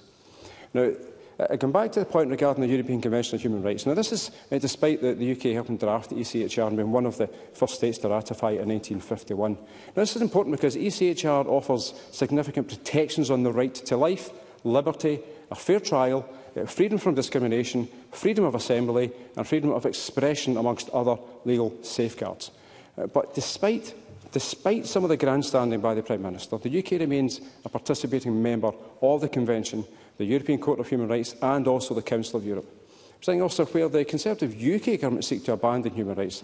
This SNP Scottish government seeks to further enshrine them in our proposed human rights bill. Now, another crucial point that, that's been lost in some of the public discourse is that, is that the Scottish Act mirrors legislation in England and Wales. But you wouldn't believe that to be the case if you were to read some of the criticisms the law has attracted online. Now, this is an inconvenient truth for those who do not support this government, devolution or this parliament. Now, the talking down of this parliament continually and what it, and what it does has went into hyperdrive in recent years. And the criticism of this act is just the current manifestation of those actions. Now, and for clarity, for clarity, I've already taken to uh, the new offences for threatening or abusive behaviour, which is intended to stir up hatred based on prejudice towards characteristics uh, including age, disability, religion, sexual orientation and transgender identity and also va variations in sex characteristics reflects the law in England and Wales which recognises five types of hate crime based on race, religion, disability, sexual orientation and transgender identity. Now, any crime in England and Wales can uh, therefore be prosecuted as a hate crime if the offender has either, first of all, demonstrated hostility based on these characteristics or been motivated by hostility based on these traits. Presenting also, as you know, and the Chamber should know, the stirring up of racial hatred has also been on the statute books in Scotland since 1986, and therefore the stirring up of hatred provisions in the Hate Crime Act are not new and the new law actually implements a higher threshold for criminality than the long-standing stirring of racial hatred offence. Bring officer, as politicians, as politicians, I'm sure we all recognise that hate crime doesn't just take place online, and we all sadly know of colleagues in this chamber who've experienced threats. Sometimes these threats have extended to our staff, which has been the case recently in my office. And I mention this as a reminder to all MSPs of the role that we play in informing the public about legislation passed in this Parliament. There's a simple law of physics. With every action, there is a reaction. Now, whether intentional or not, misleading people is counterproductive and in some instances can be dangerous. Now, therefore, I do want to thank the Cabinet Secretary for her statement yesterday, although uh, sadly it had to be made. But clearly, some lessons do have to be learned about how legislation is communicated to the public. But fundamentally, we as legislators must consider our language and also our actions. Politics can be a robust business, and that's healthy in any democracy. But what we should not be doing, however, is to allow our criticism to cloud debate with misinformation, as I have regrettably found to be the case on too many occasions when discussing this Act. Thank you. Thank you, Mr McMillan. I call Maggie Chapman to be followed by Fergus Ewing. Ms Chapman. Thank you, Presiding Officer. It is clear that many Conservatives don't like the idea that victims and survivors of threatening or abusive behaviour on account of their disability, religion, sexual orientation, transgender identity or age deserve protection of the law. They want to repeal the legislation that was passed by an overwhelming majority of this Parliament three years ago, a majority that included one of their own members. At a time when we've seen increasing hate crimes against, for example, disabled people and people on the basis of their sexual orientation, and given the previously confusing hate crime legislation in Scotland, it is clear why Lord Bracadale considered such legislation necessary. If the Hate Crime and Public Order Scotland Act 2021 were to be repealed, we would have, at best, fractured and scattered protections against hate in Scotland, given this Act itself repealed previous hate crime legislation. If that is the intent of the Tory motion today, if the Tories really do want us to have virtually no hate crime legislation in Scotland, it's a pretty damning indictment on what that party thinks of so many of the freedoms outlined in much of international and UK human rights law and other civil protections. We've heard much in Tory contributions of how we must stop sowing division in Scotland, of the importance of freedom of speech, of the values, value of communities coming together, I do not disagree with these sentiments or intentions, but it is clear, presiding officer, that this debate is in danger of being flooded with the crocodile tears of Conservatives. Crocodile tears because they care not a jot about freedom of speech. Their party in government at Westminster is responsible for a series of authoritarian attacks on the rights of people to express themselves. If it's not curtailing the right to protest, It's supporting the police arresting journalists covering those protests, all served with a side of undermining workers' rights to withdraw their, la their labour. Such restrictions, as contained in the Police Crime Sentencing and Court Act 2022 and the Public Order Act 2023, to name but two,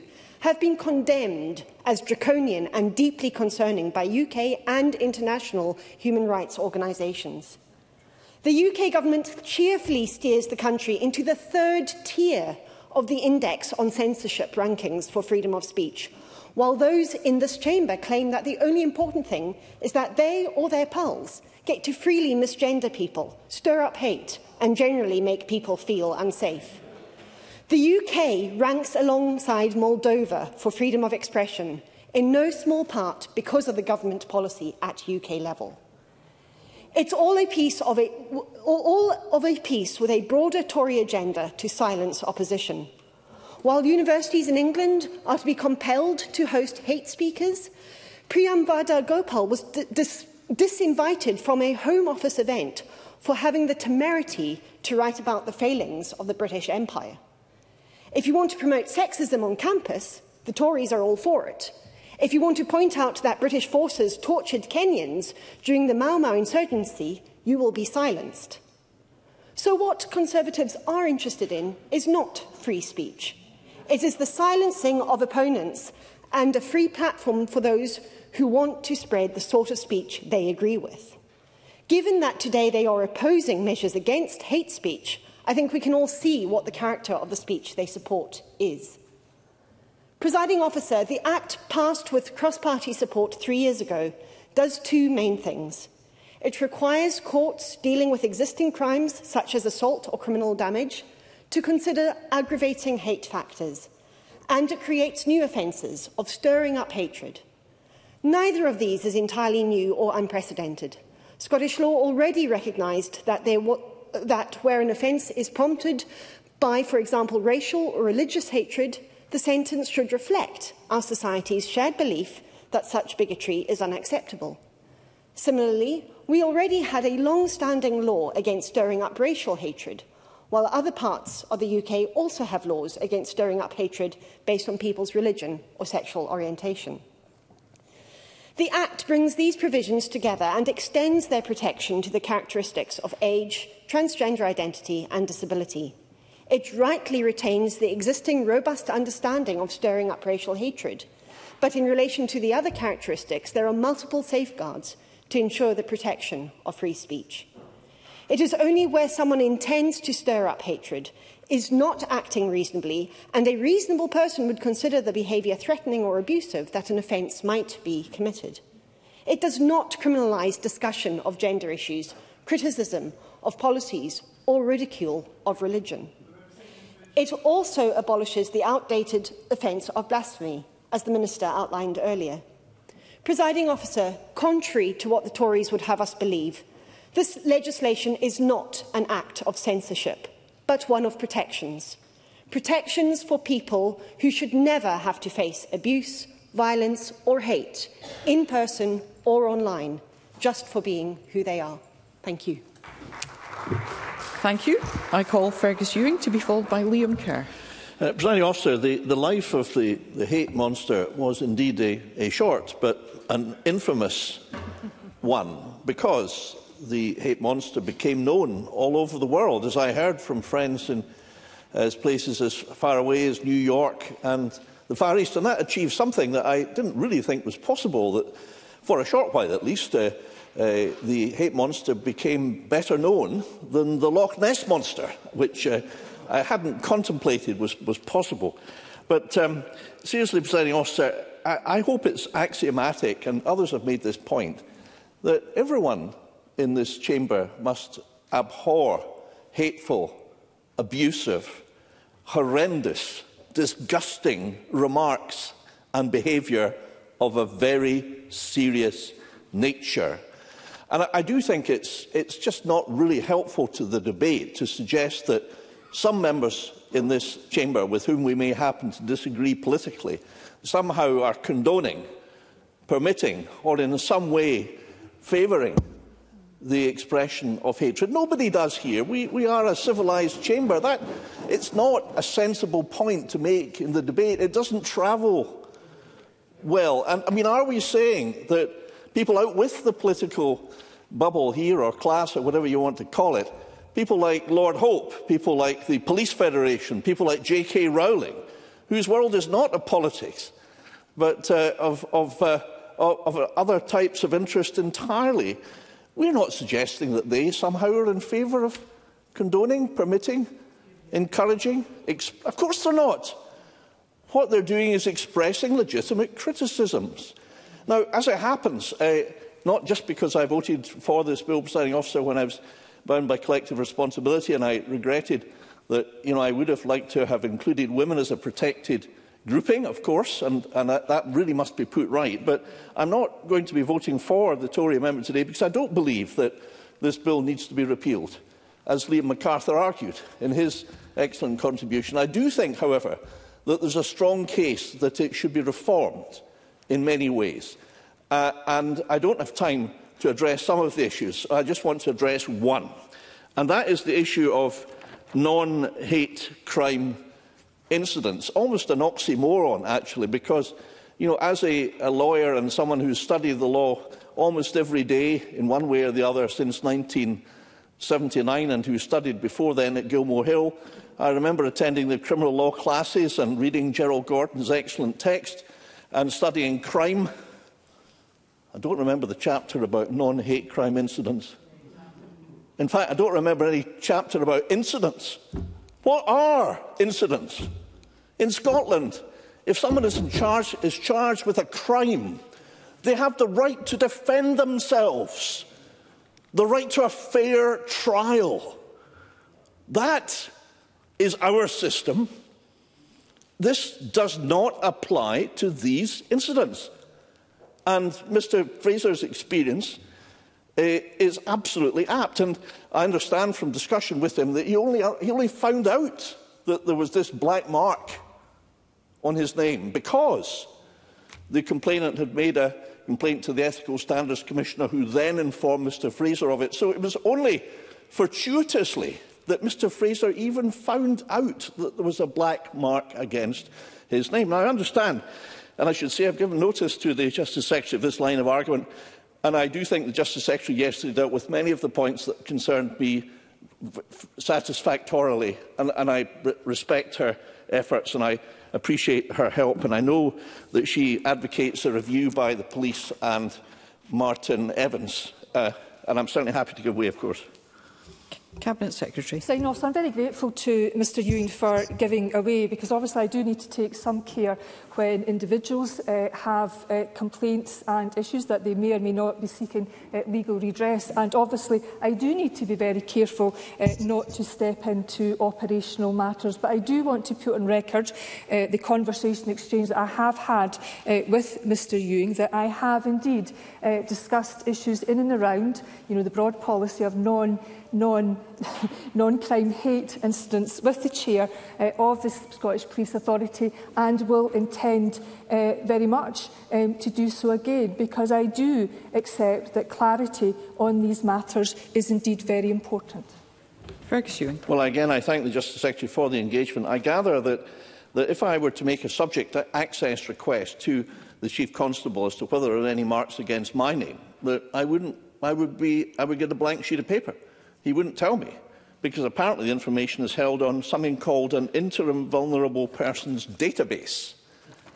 Well, when have we debated this? I don't recall it.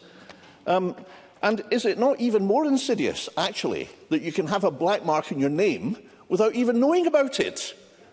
I mean, in what sort of democracy are we living in here? I, I mean, I used to read serious novels, I uh, don't any longer, but I remember reading Franz Kafka, And that's the name that springs to mind here, because this is not a feature of Western democracy where the right to a free trial is a cornerstone, a pillar of our system. It's an abnegation of that. And why are we tolerating it? And with respect, Cabinet Secretary, I think giving a lead is the role of this Parliament, not just leaving it to the police and sitting on the sidelines as a spectator. And I do think the suggestion I made, which is that there should be an independent expert human rights lawyer selected after agreement with all relative parties to ensure an irreproachable degree of independence must conclude, would be Mr. the right Ewing. way to take this forward and end what I see as a perversion on our justice system in Scotland. I call Liam Kerr to be followed by Christine Graham. Thank you, Presiding Officer. Presiding Officer, looking at the amendments, both those selected and not, and listening to the remarks of those parties which submitted them, what is striking is how surprised they all seem at what's transpired. Because everything, everything that has happened since this came into effect was warned about loud and clear during the bill's passage. Whether that be Lucy Hunter Blackburn warning the people this will get used against are much more likely to be working class, followed recently by the stupid infantilizing hate monster campaign saying utterly egregiously we know that young men aged 18 to 30 are most likely to commit hate crime particularly those from socially excluded communities. Mm. Whether that be Police Scotland's submissions at the time that the bill's costs had been, quote, grossly underestimated, sometimes completely unaccounted for, followed last week by the SPF warning the Act will lead to frontline spending restraints and reduced ability to deliver effective policing. Whether that be Scott Wortley warning the legislation quote, leaves it open for pressure to be put on people through vexatious complaints which take time and energy to defend. Roddy Dunlop at the time warned about potential weaponisation, followed last week by a 74-year-old mild-mannered pensioner being left traumatised, distressed and shaking, having been arrested for reportedly being vexatiously accused of a verbal hate crime or whether that be the Society of Editors, warning the reasonable person test stands every chance of being hijacked and used to silence free speech and penalise a free media, followed by Scottish Pen recently expressing deep alarm at police officers potentially questioning a comedian saying an offensive joke or an actor reported for communicating threatening or abusive material.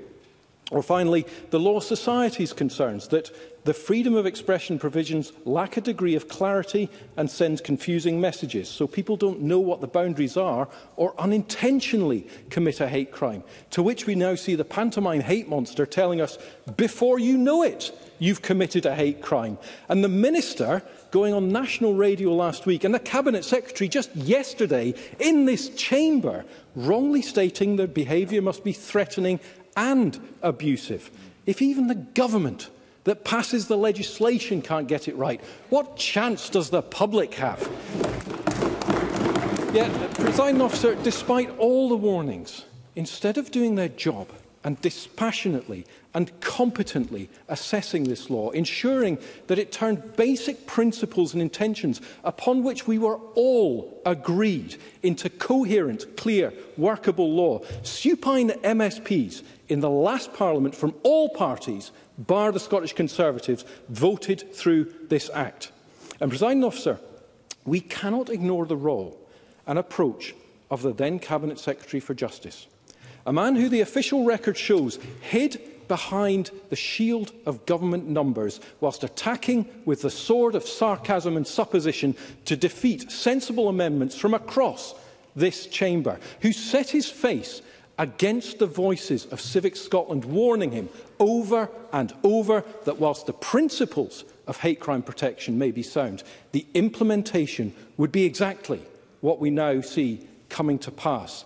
Presiding officer, this was the author of what was at the time the most controversial bill in Holyrood history, First Minister on its implementation, who hasn't even bothered to come to the Chamber today.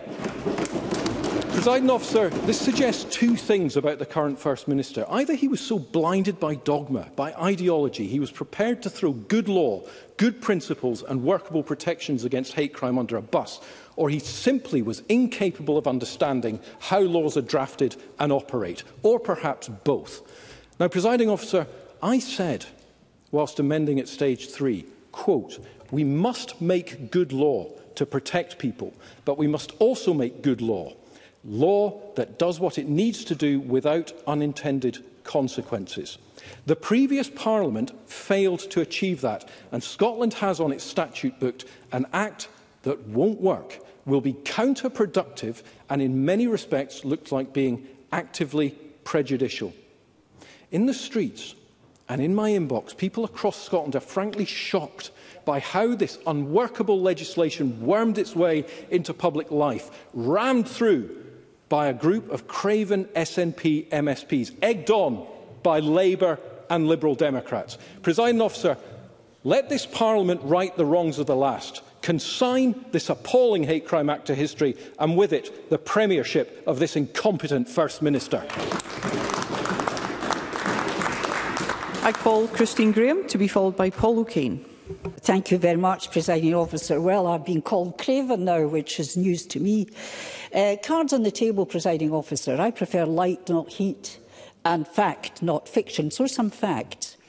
Let's go to the hate crime statistics. Predating this legislation, between 2014 to 2015, the hate crimes recorded each year, and I'm saying crimes, in Scotland was between 6,300 and 7,000.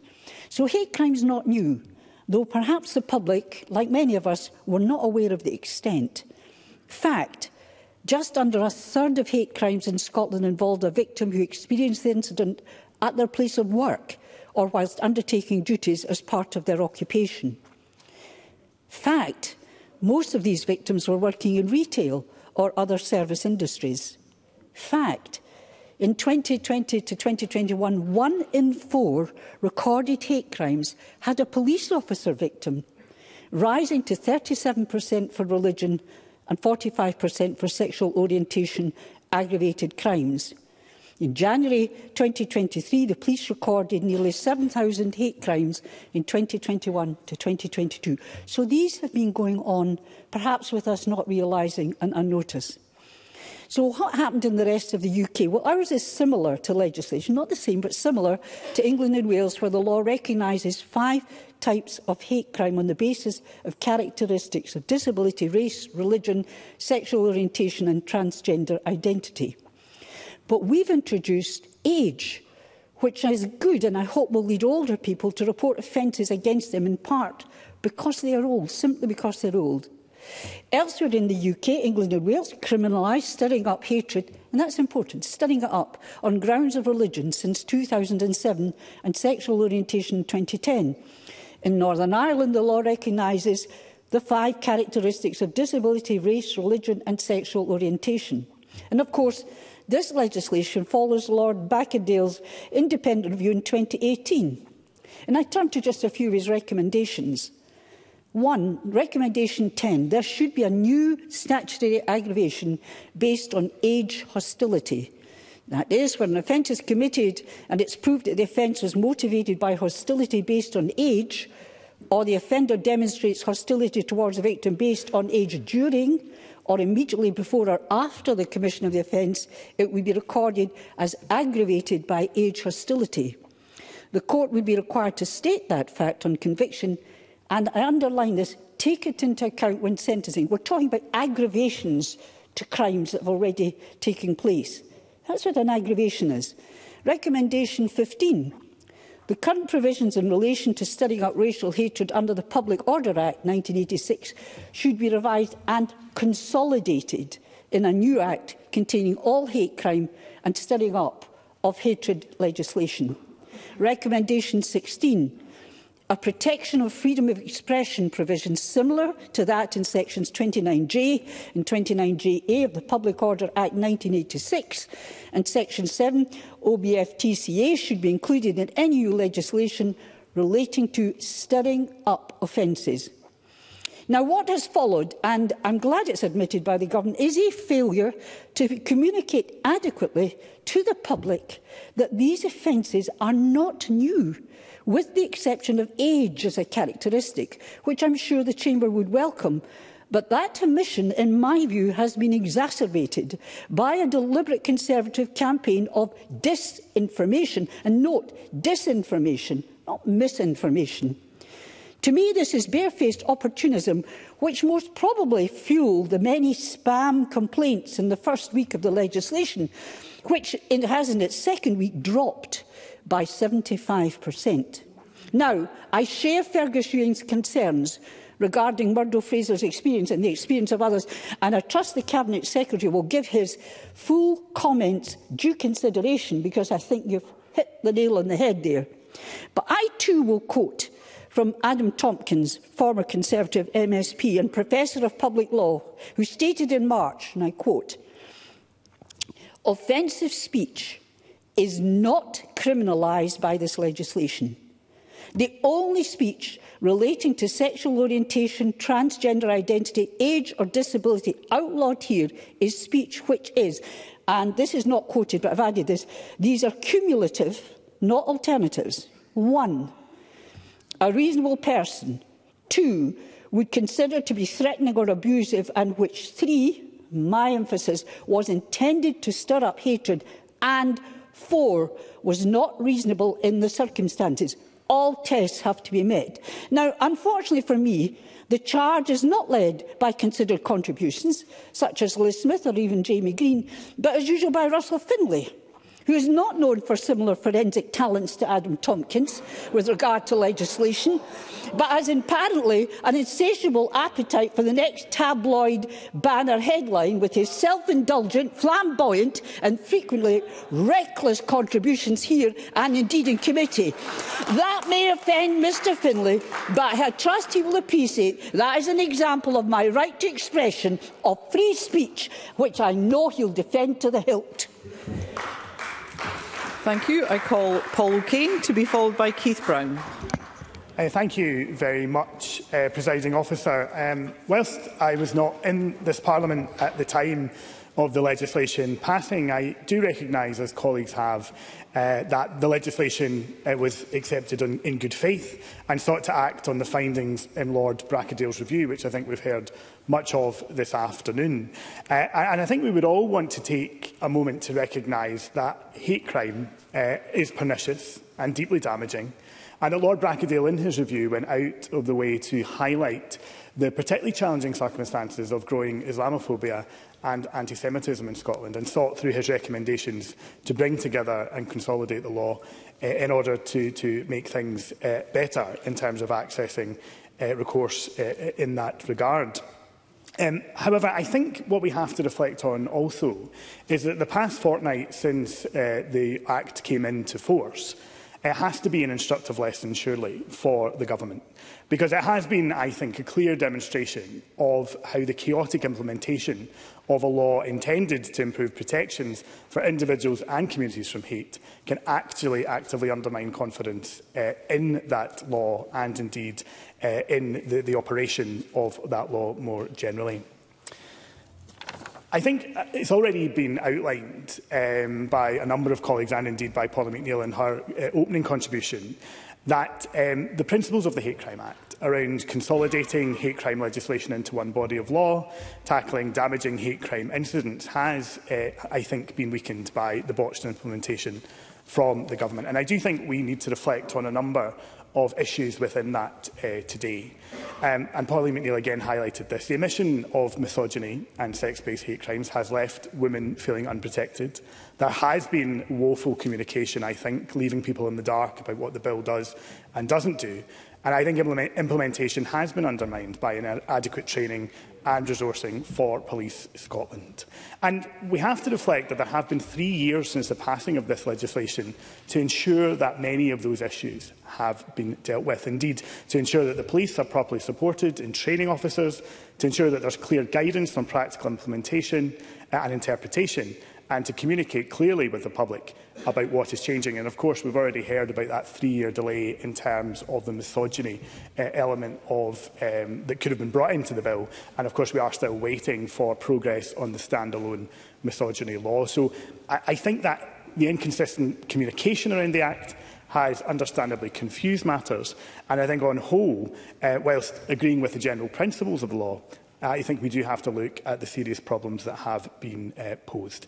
I, I think there's been a number of helpful contributions uh, reflecting on um, some of the challenges um, most notably Liam MacArthur, I thought, um, and Fergus Ewing highlighted much of what I think can be done to improve this legislation uh, and to take that time to reflect. And I think quoting those words from Adam Tompkins, I think, as we've heard a number of times, is important. And he said, if we focus on what the Act actually means, rather than what intermediate, uh, sorry, intemperate voices on both the left and the right are falsely claiming it means, we might yet make a success of it. So I think that's where my contribution comes from today. Um, this implementation, as I say, has not uh, been uh, a good example, I think, of how to go about introducing uh, new legislation uh, in Scotland.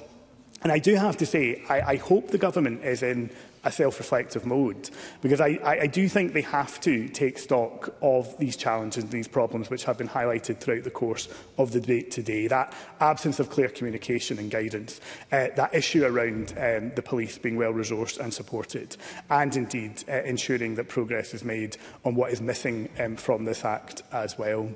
Um, I, I think uh, it is clear that um, there are a number of things that could now be done in order to um, reflect, as I say, on this Act and indeed to move forward because we have to, to face the facts of where we are now, and, and what we can do going forward. And I thought Pauline McNeill's suggestions and the suggestions within the Labour Amendment very clearly point to what can be done, and that is that the, the Justice Committee should take an action to uh, immediately uh, take, uh, undertake work to review the implementation of the Act, to look at the specific issues that I have mentioned here this afternoon and other colleagues have as well, but also, I think, in doing that, to, to get into the business of understanding the level of complaints and what the nature of those complaints were in the first uh, week of implementation uh, and what has now happened in terms of that, that dropping in numbers. I think that is very important post-legislative scrutiny work that should be undertaken by the Justice Committee, and that is why we are calling for this today, because I think that is crucially important in, eh, important eh, in terms of moving forward. I think it's also uh, important that the government reflects uh, on the broader point about how we resource uh, the police in Scotland. Uh, I am seriously concerned about um, the, the, the, the issues that have been raised by the Police Federation and others about how Police Scotland has been resourced and supported.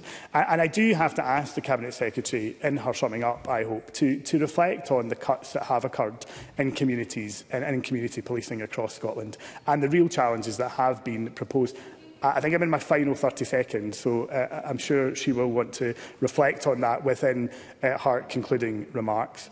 So uh, I, I will return to where I began, presiding officer, which is the intent of this law is right. I think we are all agreed in this chamber around the challenges that exist in terms of pernicious hate.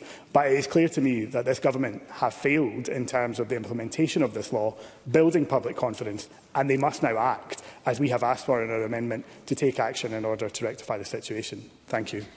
Thank you. And I call Keith Brown, the final speaker in the open debate. thank you, President Officer. Can I just repeat a point made previously, a quote made uh, mention of previously by Audrey Nicholl, when she said the Uh, senior law lecturer Andy, Andrew Tickell having mentioned the following.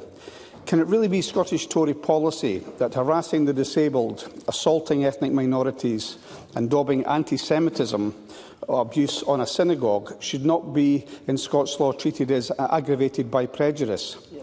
Because that is a big part of what repealing the Hate Crime Act yeah. would achieve. Yeah. That was his words. However, we've also, uh, during the course of this debate, saying the Tory spokesperson, when invited to do so, refused to condemn hate crimes or even to acknowledge the existence of hate crimes in Scotland.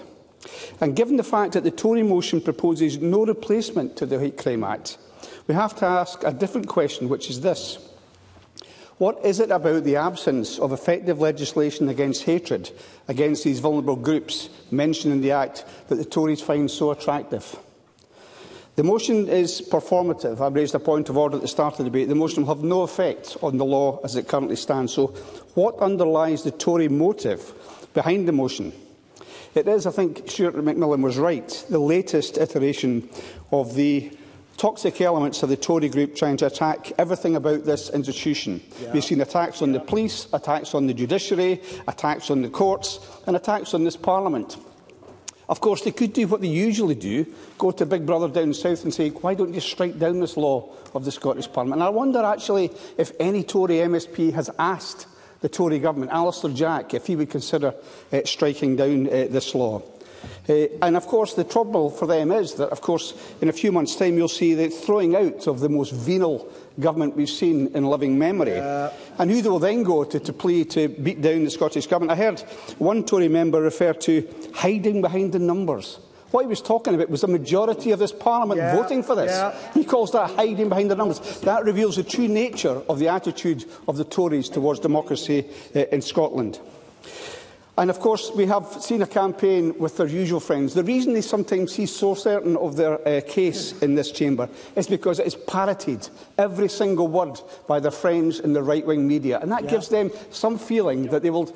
I see I've seemed to have encouraged uh, Douglas Ross to his feet. If he can be brief, I'll take his intervention. Douglas Ross. I'm grateful to Heath Brown for giving way. Can he explain, does he agree with Lord Hope the former Deputy President of the Supreme Court, who said this legislation is unworkable and should be repealed? Keith I can answer that very briefly by saying no, I don't agree with Lord Hope. And I think over time we will see, as we're starting to see already, that the Act, if people act in good faith, of course can be effective at protecting the people it seeks to protect. And the reality is that the premise of this debate today, the Tories' objection to this policy and the level of misinformation and mischaracterisation of this Act, I'm afraid to say, that has permeated the public discussion is really nothing to do with tackling hate crime at all, but actually a sad indictment of the political, media and online climate that we are living in today, where outrage increasingly takes precedence over facts And it therefore falls on all of us in this chamber, as the Cabinet Secretary said yesterday, to have a debate that is at least rooted in reality, respect and facts. Yeah. This climate, the climate that's been created, has consequences, and the thousands of false complaints made against people who obviously did not commit hate crimes are not only a huge waste of police time, but a sad indictment of the misunderstanding of this Act that's been peddled for all the wrong reasons.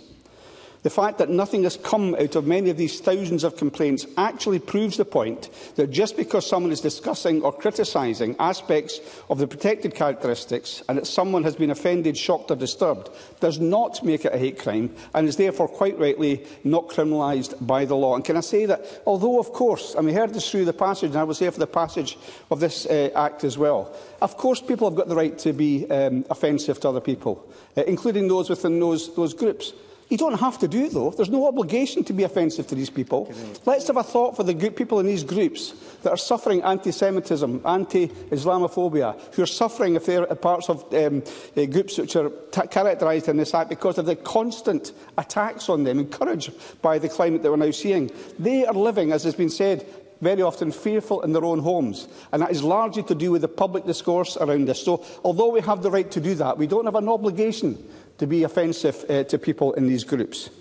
Uh, and I absolutely defend, and of course, uh, as others have done, defend the right to be uh, offensive if that is what people want to do. That's part of free speech. But the misplaced anger and frustration ge generated by the reaction to this Act is far too often channelled, and not least online, towards the groups which the Act seeks to protect. And Stuart McMillan mentioned uh, the effect on many members in this group. I, like many members, I think I've had six death threats now. I've had attacks in the constituency. My office manager was in office in the court all day yesterday trying to take forward a case against somebody who wanted to kill me. The abuse is constant. We all know it's happening, but let's accept some responsibility when we feed the atmosphere, because yeah. it has real terms consequences. We've seen that down at Westminster. Yeah. We don't want to see it happen here. So I think the difference we have here, in the last uh, 30 seconds, apologies. Uh, we have two different visions, in my view, uh, of Scotland. One is that we can have a law that challenges hate, that uh, has an effect of being able to protect vulnerable communities. And we have the Tory vision for Scotland, where such, uh, such eh, protections are no longer there. There is no legal framework. Not only will we not have the new provisions within this Act, we'll take away previous provisions. We'll be the least protected part of the UK. Yeah. That is the vision the Tories have for Scotland, and we should reject it at decision time. Thank you. We move to winding up speeches, and I call on Katie Clark. Up to six minutes, please. Thank you, Presiding Officer, and I'm pleased to close this debate on behalf of Scottish Labour. Hate and prejudice has no place in Scotland and robust laws are needed. We know that there has been a rise in the number of recorded hateful incidents over a number of years. And as has been said in this debate on a number of occasions, we already had hate crime legislation in Scotland. However, as Jamie Green pointed out, This Act is more than a co consolidation. I was interested in what Audrey Nichols said about the consultation process leading up to this legislation, which I believe shows again the inadequacy of consultation processes which consult on general principles rather than specific proposals and a draft bill. Because, as Carol Morgan has said, the Scottish Government have failed to recognise the strength of feeling on this issue in communities. And I believe Murdo Fraser's experience is one of the reasons why the Act has been brought into disrepute. These are sensitive issues and there has been a failure of leadership by the Scottish Government. The debate in the last Parliament highlighted the complexities of these provisions, and the first few days of the implementation of this Act have been shambolic. As Russell Finlay said, the Minister herself did not seem to understand the definitions of the offences created by the Act, and there has been confusion over what is and what is not a hate crime. The police have been overwhelmed with complaints and the Scottish Police Confederation have complained about poor training. The Scottish Government response yesterday was to announce a fact sheet. The chaos of the implementation of this legislation has led to a loss of public confidence. Siobhan Brown has said again today there is a high threshold for criminality, but this has not been part of the communications strategy. She also pointed to a fall in the number of complaints since the first days of the Act. Again, however, today, she has made ambitious claims as to how this Act will help marginalised groups. And it's therefore hardly surprising that there's been a large number of complaints being made. And I think the fact that Lord Hope has said that this Act is unworkable shows the consequences of failures of communication. As Pauline McNeill said, there is merit in some of the provisions in this Act, for example, the aggravators. As has been said, Scottish Labour argued strongly during the passage of the Act that the characteristic of sex should be included in the legislation. We still believe that this characteristic should be added now and it should not be necessary to wait for misogyny legislation. The failure to include sex. Yes, of course. Rachel Hamilton. Card. Presiding officer. Um, Women are, uh, were abused during the passage of the bill, they're abused now. I believe that the SNP used the, working, the, the concerns of the working group to bring forward sex as an aggravator within the, in stage three of Joanne Lamont's amendment. Um, and they're using the work that they've done on misogyny now as the justification for actually bringing forward that, whereas at the time they should have done that. And I think that is Labour going to call for a reform of this bill or a repeal?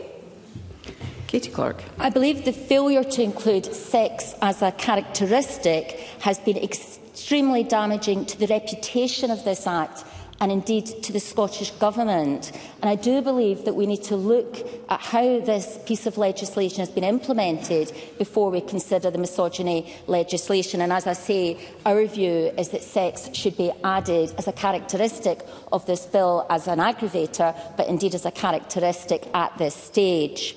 The Scottish Police Federation, as she knows, warned that training was just not going to be good enough to handle the inevitable surge in complaints. and reported that officers had only been allocated a two-hour training course. And we understand that when the legislation um, came into operation, that one in still five had still not completed this course a week after it came into effect.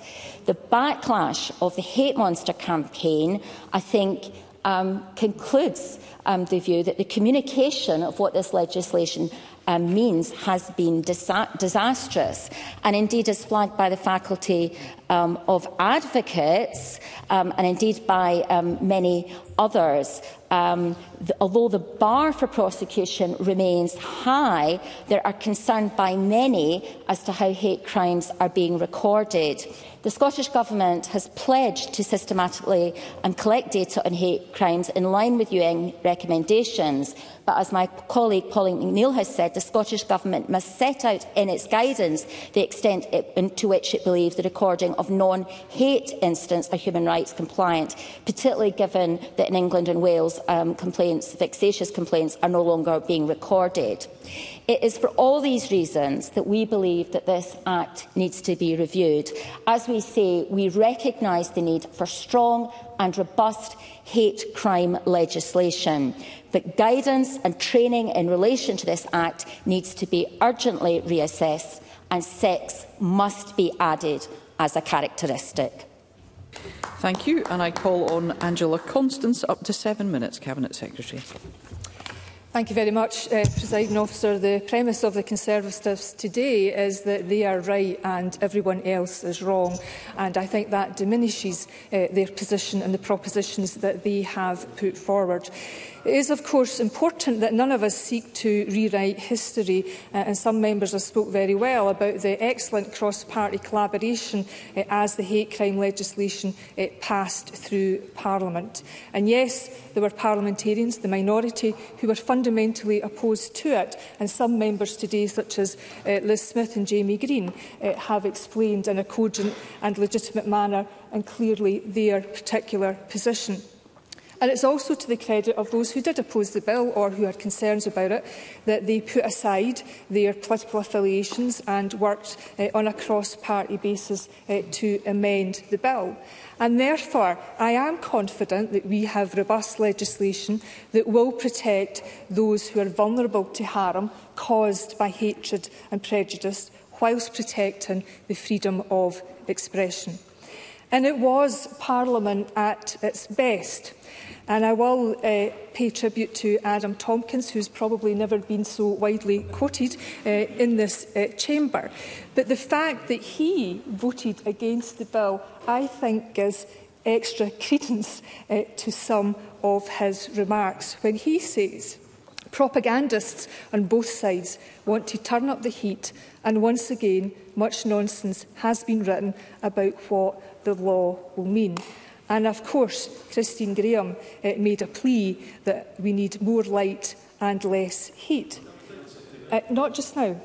Uh, and in that regard, uh, as I stated yesterday, I will own uh, my uh, responsibilities in that regard. But I will also uh, challenge others uh, to do likewise. Because, Mr O'Kane, I think the last few weeks uh, have been instructive uh, on a number of counts because we know that misinformation and confusion such as people claiming that, not, not just now, such as people claiming that we have a law in Scotland that means you can't say anything derogatory about disabled people. That is a clear example of misinformation that fuels concerns and will seek only to embolden uh, the small minority of people who genuinely uh, pose a threat of abuse and violence. Presiding officer, I'm not going to repeat everything uh, that I said in my statement yesterday because I very much want to help to move matters on and reflect and address some of the substantive issues uh, that members have raised. And I will come on to non-crime hate incidents and uh, misogyny uh, legislation in a moment.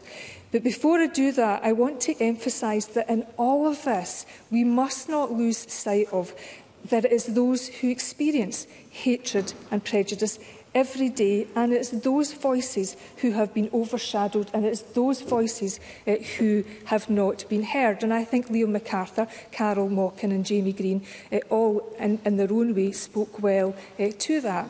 And it was during a session conducted by Glasgow Disability Alliance uh, to form the hate crime strategy that an individual stated, the way it impacted on my health is You get so much of it that you just don't want to live no more. And of course, I have to acknowledge uh, the correspondence sent in by 14 uh, eh, organisations today to um, MSPs, organisations including uh, eh, Includem, who are utterly supportive of this legislation and what it means to the communities they represent. To be fair to them, not just now, to be fair to them, Uh, they have also made a plea, as some members have, for more accessible information, and we will certainly um, act on that and pursue that, and we'll do that in collaboration, but it does need people uh, to work together uh, on a fair and equal footing. Sign officer, the very fact that there are 445 police recorded hate crimes in the first two weeks, I think reinforces uh, the importance uh, of this legislation and it shows that it is working because notwithstanding, notwithstanding the high volume of um, anonymous uh, online complaints, which have, of course, uh, fallen by nearly 75%, we know that not all hate incidents, hate crimes, uh, are reported. They don't all come to the attention of the police and we still continue to have an issue where hate crime is underreported reported. I did, I'm seriously running out of time and there are some issues I do uh, wish to, to address with respect, Ms McNeill. In terms of police um, funding, £1.55 billion pounds goes into policing uh, in this country. In terms of, and I'll be quick, sign off, in terms of uh, non-crime hate incidents, the, the purpose of that process is to focus on the vulnerability of complainers.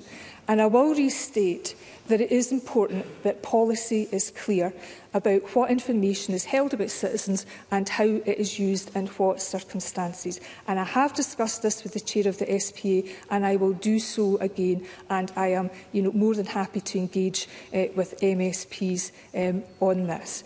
But it is important to again put on record uh, that Police Scotland are indeed uh, looking at the guidance that came from the College of Policing uh, and are reviewing uh, their own position, even although that guidance doesn't directly uh, relate to Scotland. Sign off, in terms of in terms of misogyny uh, legislation, we have a very clear programme for government commitment. It should come as no surprise Our commitment was to implement the findings of the Baroness Kennedy Review. Our commitment was, at the time of the passage of the hate crime legislation, was that the Scottish Government uh, would respond to the recommendations uh, on that independent report um, after a year. And in terms of Katie Clark's very important remark, one of the reasons that we consulted on draft provisions on a misogyny bill was very much to get into the specifics and the details early on. And in my plea uh, to members across the chamber is let's not start fighting about a bill that's not yet been introduced. Uh, let's work together now uh, for the sake of 51% of the population that are indeed a majority and not a minority. Presiding officer, I'll end by uh, saying that if the Hate Crime Act is, is repealed in full, Scotland would be the only country in the UK without specific legislation to protect communities from hate. What message would that give victims? What message would that give perpetrators that what hate crime will not be tolerated? So much for the party of law and order, and indeed sounds like soft justice to me. Thank you. I call on Sharon Dowie to wind up the debate. Up to nine minutes, please. Thank you, Presiding Officer. I remember taking intervention. uh, yes. Thank you. Uh, apologies for the unorthodox approach, but I've attempted to intervene in the Cabinet Secretary. I was wholeheartedly support Christine Graham's flamboyant attack on me, but I was slightly disappointed at her refusal to take an intervention. Now, she made a very serious allegation, which is our party responsible for disinformation. Multiple SNP members have accused us of misinformation, and I'd like any member over on these benches to intervene on my colleague with one example, any example of misinformation from myself or from my colleagues. Sharon Dowie. Thank you for that. So, In your own time. so thank you, presiding officer. The Hate Crime Act came into force on the 1st of this month. Already, as my colleagues have outlined clearly today, it's been a disaster within just a few weeks of coming into force. My party warned this would happen. We warned it would risk free speech and overwhelm the police. We warned this when the bill was first introduced. We reiterated that throughout the parliamentary process and submitted amendments to stop this happening. We've repeated it countless times in the years since this Parliament voted for it and called for the law not to go ahead. Just before it came into force, we again warned Hamza Youssef directly in this chamber that this law was unworkable. In just a fortnight, our criticisms have already been proved correct. Before getting into the substance of our arguments, I want to deal with the developments yesterday in this new law. Yesterday, seemingly in panic mode, the SNP gave a statement in this Parliament on the implementation of this new law. The Government barely accepted any responsibility for how badly this law has gone. They seem to be blaming everybody else for their own mistakes. They are now desperately claiming their highly controversial new law which they used to hail as groundbreaking, is barely any different to older laws. They are still arrogantly dismissing almost all criticism. They are refusing to accept just how flawed this law is, even as it unravels day by day. The government response to the last fortnight of chaos was to issue a fact sheet about the Hate Crime Act. So let me give the SNP a real fact sheet. This law is already overwhelming the police with complaints. It is already taking officers away from the front line. Yes. Alistair Allen. I thank the member for giving way and I, I hear what she says about the, the number of complaints that were submitted in the first week. If it comes to light that any um, groups or organisations were um, orchestrating what looks like an attempt to police waste time, um, would she condemn those groups? Sharon Dowie. I don't condone any groups wasting police time because the police are under enough pressure yeah. as it is. Yeah. They've got the lowest number since 2008, so no, we wouldn't condone that. It is already being misused by activists. It's already putting neighbours against neighbours and communities against communities. It's already limiting free speech in Scotland. Those are the facts, whether the SNP like them or not. And that's why my party has brought forward this debate seeking to repeal this law, because the longer it continues, the worse this will get. The more damage the Hate Crime Act will do. Yes. Rona Mackay. For taking the intervention. D does the member believe that hate crime laws in England and Wales should be repealed?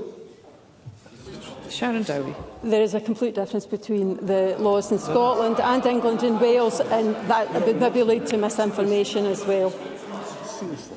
If it is not removed immediately, the consequences for free speech in Scotland will grow more severe.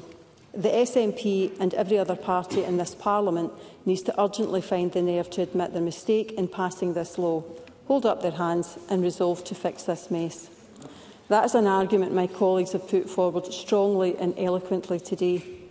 Opening the debate, my colleague Russell Finlay said this law transformed the birthplace of the Enlightenment into a place where free speech has been debased and devalued. He passionately outlined our concerns that this law, a Clype's Charter or snitches, will turn people against each other, not only neighbours against neighbours, but ordinary people against the police. He highlighted our real fears that the SNP have put the police in an impossible position. They are forcing officers to interpret this vague and poorly defined legislation. Hamza Yusuf is effectively using our police force as a shield to deflect all the flaws in this law. Instead of fixing the problems before the law was passed, all those problems have just been shifted to the police. Russell Finlay summed this up perfectly when he said our opposition to this law is about letting our police officers do their jobs. The government should listen and reflect on this point that exhausted and overworked police officers are now being ordered by the SNP to police our speech. I also want to focus briefly on the excellent contribution from my colleague Liz Smith MSP on what makes good law and whether this Act stands up to that test. Liz Smith asked the question, has this Parliament shown itself capable of passing good law? And in her speech today, she dismantled any notions from the Government that this Act represents good law her comparison of this flawed law to previous mistakes in the Gender Recognition Reform Act, the Offensive Behaviour at Football Act and the Named Persons Act was fitting and appropriate. As she said, there are strong parallels between this hate crime law and mistakes the SNP have made in the past. In her speech, she underlined clearly that one of the central problems with this law is the murky and vague definitions littered throughout the legislation. As a result, there is no clear line between merely offensive behaviour and offensive behaviour that is criminal. As she noted, quoting the Scottish Police Federation, this means there is a potential for many people coming to the police's attention who should not have a knock at their door from officers. On that point, I'll also uh, comment on Murdo Fraser MSP's speech, who has already seen personally, firsthand, how hate crime laws can be misinterpreted today focused on his own experiences with the ridiculous enforcements of non-crime hate incidents. What happened to Murdo Fraser, the police recording his details despite no evidence of a crime, was unacceptable, downright wrong and should be called out by every party in this parliament. He expressed the inconsistencies in how police deal with complaints. There seems to be one rule for some complaints and an entirely different rule for others, which seems to be dependent on the nature of the topic. There are obvious double standards that are certainly a consequence of the introduction of the Hate Crime Act and the misunderstandings it has created. Murdo Fraser gave SNP ministers a chance to intervene and explain how the police are using non-crime hate incidents. But nobody replied. I also want to mention the powerful speech today from my colleague Liam Kerr, who throughout the parliamentary process, nobody did more to continually highlight the flaws in this law.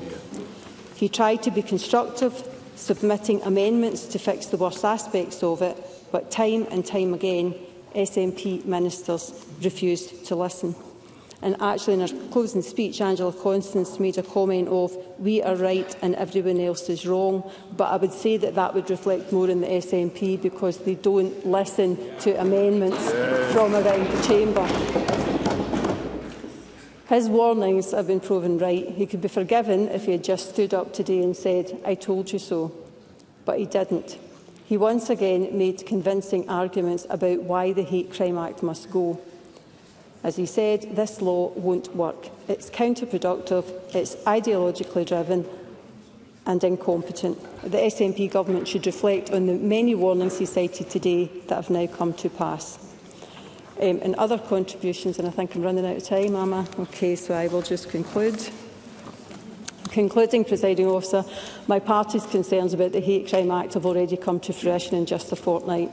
It's having a detrimental impact on free speech in Scotland. It's stretching already overworked and under-resourced police officers. It's turning communities against one another. Far from limiting hate in Scotland, it seems to be increasing the divisions in our society. Every party in the Parliament must stand up for the principle of free speech in Scotland Labour and Lib Dem members must wake up and vote to remove this bad SNP law. And I urge everyone across the Chamber to support the Scottish Conservative motion today. Thank you.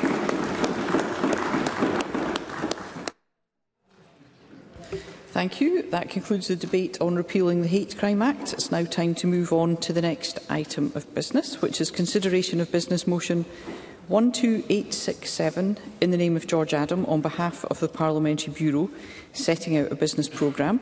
Any member who wishes to speak against the motion should press their request to speak button now. And I call on George Adam to move the motion. Thank you, Presiding Officer, and moved. Thank you, Minister. And I call on Megan Gallagher to speak to and move Amendment 12867.1 up to five minutes. Thank you, Presiding Officer. Yesterday, I raised concerns over the ability for elected members to seek a statement from this SNP government on the cash review. I have tried as many levers as possible so MSPs can raise questions about the cash review findings and whether this government will adopt all 32 recommendations. I will. John Mason. Would the member not agree that it would be useful for the government or anyone else to take time and reflect on this before making a statement? Megan Gallagher.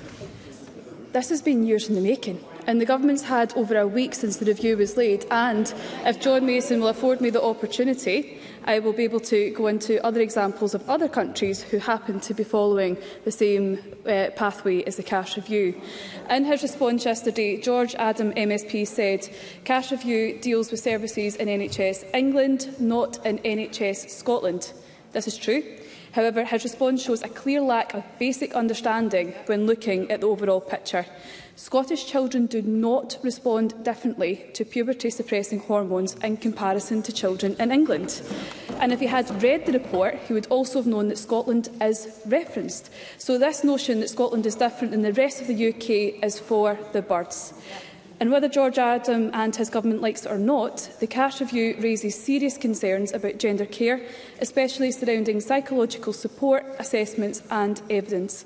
Many MSPs have reiterated the importance of making sure that this conversation is respectful. I agree, and that's why I've been calling for a statement, so all opinions can be expressed, and to finally get some answers from this government and I've tried to get some answers again today. I asked the question during health and social care portfolio questions. A simple question, will the Scottish Government adopt the recommendations of the CASH review, including limiting the use of puberty blockers and cross-sex hormones? But I still did not get an answer. And nor can Carol Mocking get an answer when she asked when a ministerial statement would take place. No response from the Minister, Jenny Minto. And I would give way to the Minister if she is able to give us a date just now. Nothing. So a portfolio session is just not enough time to scrutinise a near 400-page report. The Scottish Government have made it clear that they do not want to talk about this review, as they've been dodging every opportunity to bring forward a statement. And the worst of it is that Scotland will end up being an outlier. Other countries, such as Belgium and the Netherlands, they're all implementing policies similar to the recommendations that were contained within the cash review. I will. Russell Finlay. My colleague invited the opposition benches to intervene and they haven't done so, but Keith Brown seems to have plenty to say from a sedentary position. I'd invite him to maybe take to his feet. Megan Gallagher. Miss Gallagher, do continue. Thank you. But the SNP cannot bring itself, they cannot bring itself to bring a pause to puberty blockers until a final decision is made on the future of gender care here in Scotland. But they need to understand that caution must be taken when we're looking at this.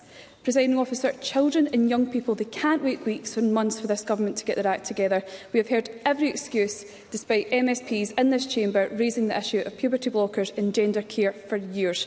And I will continue to raise this issue, not just because I'm deeply concerned about the lack of ev evidence to protect our children, but because this government cannot be allowed to bury its head in the sand any longer. I will finish with what I said yesterday. Parents, carers, young people and those who have been failed by gender affirming care in Scotland need and deserve answers. And the Scottish Government are failing them by refusing to respond. So, therefore, presiding officer, I will move the amendment in my name. Thank you. And I call on Jackie Bailey to speak against the motion. Thank you, Presiding Officer. I wish to speak against the business motion as it currently stands. I agree with many of the comments from Megan Gallagher, but standing orders prevent me from speaking directly to the amendment. I wish to, however, express disappointment that there is not a statement on the CAST review in the business for next week. The report from Dr Hilary Cass is of considerable importance for the Scottish Government, for the clinicians involved in the Sandyford Specialist Service and for the children and young people with gender gender dysphoria. Despite that, the Scottish Government's position is frankly incoherent. First, we have ministers saying it's nothing to do with the government and it's for clinicians to decide. Now we have the government involved in working groups to consider the recommendations. You simply cannot have it both ways. We have ministers and now backbenchers saying that they need time, but they've had Dr Cass's interim report since February 2022, her recommendations on puberty blockers more recently, and Scottish Government officials and clinicians have been talking to her during the whole time of the review, so her recommendations should not come as a surprise. Absolutely. Rachel Hamilton. During the passage of the Gender Recognition Reform Bill, ministers rejected any amendments to do with the cast review from your own colleague Claire Baker and others, and they dismissed it entirely. Do you just believe that they're going to dismiss the fully published cast review entirely? Well, I would, I would genuinely hope not, because I would like to see the cast review implemented in full. It's a considered evidence-based report, and ignoring it lets down staff and a generation of young people and their families. Making a statement to Parliament is the very least we should expect because this is ultimately about openness and transparency and doing the right thing for gender dysphoria services in Scotland. And, presiding officer, let me illustrate this, because since the CAST report came out, the Minister, Jenny Minto, who's not here, and the CMO have been backwards and forwards. Oh, sorry, I didn't see her before. I correct the record. I'm delighted to see the Minister here, so she can now confirm what I'm about to say. Because she and the CMO have been backwards and forwards to Greater Glasgow and Clyde Health Board, no one can decide what to do about puberty blockers and who should actually take the decision. A press release, I'm told, is to be issued tomorrow after FMQs.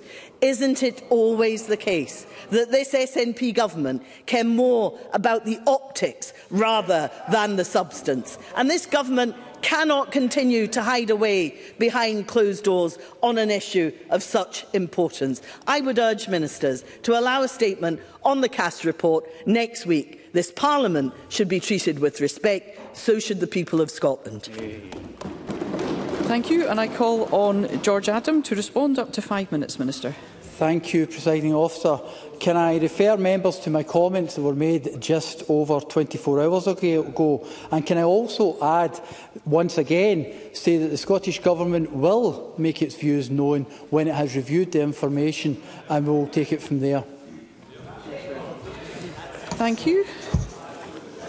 The question is that Amendment 12867.1, in the name of Megan Gallagher, which seeks to amend Motion 12867, in the name of George Adam, on behalf of the Parliamentary Bureau, setting out a business programme be agreed. Are we all agreed? The Parliament is not agreed, therefore we'll move to vote and there'll be a short suspension to allow members to access the digital voting system.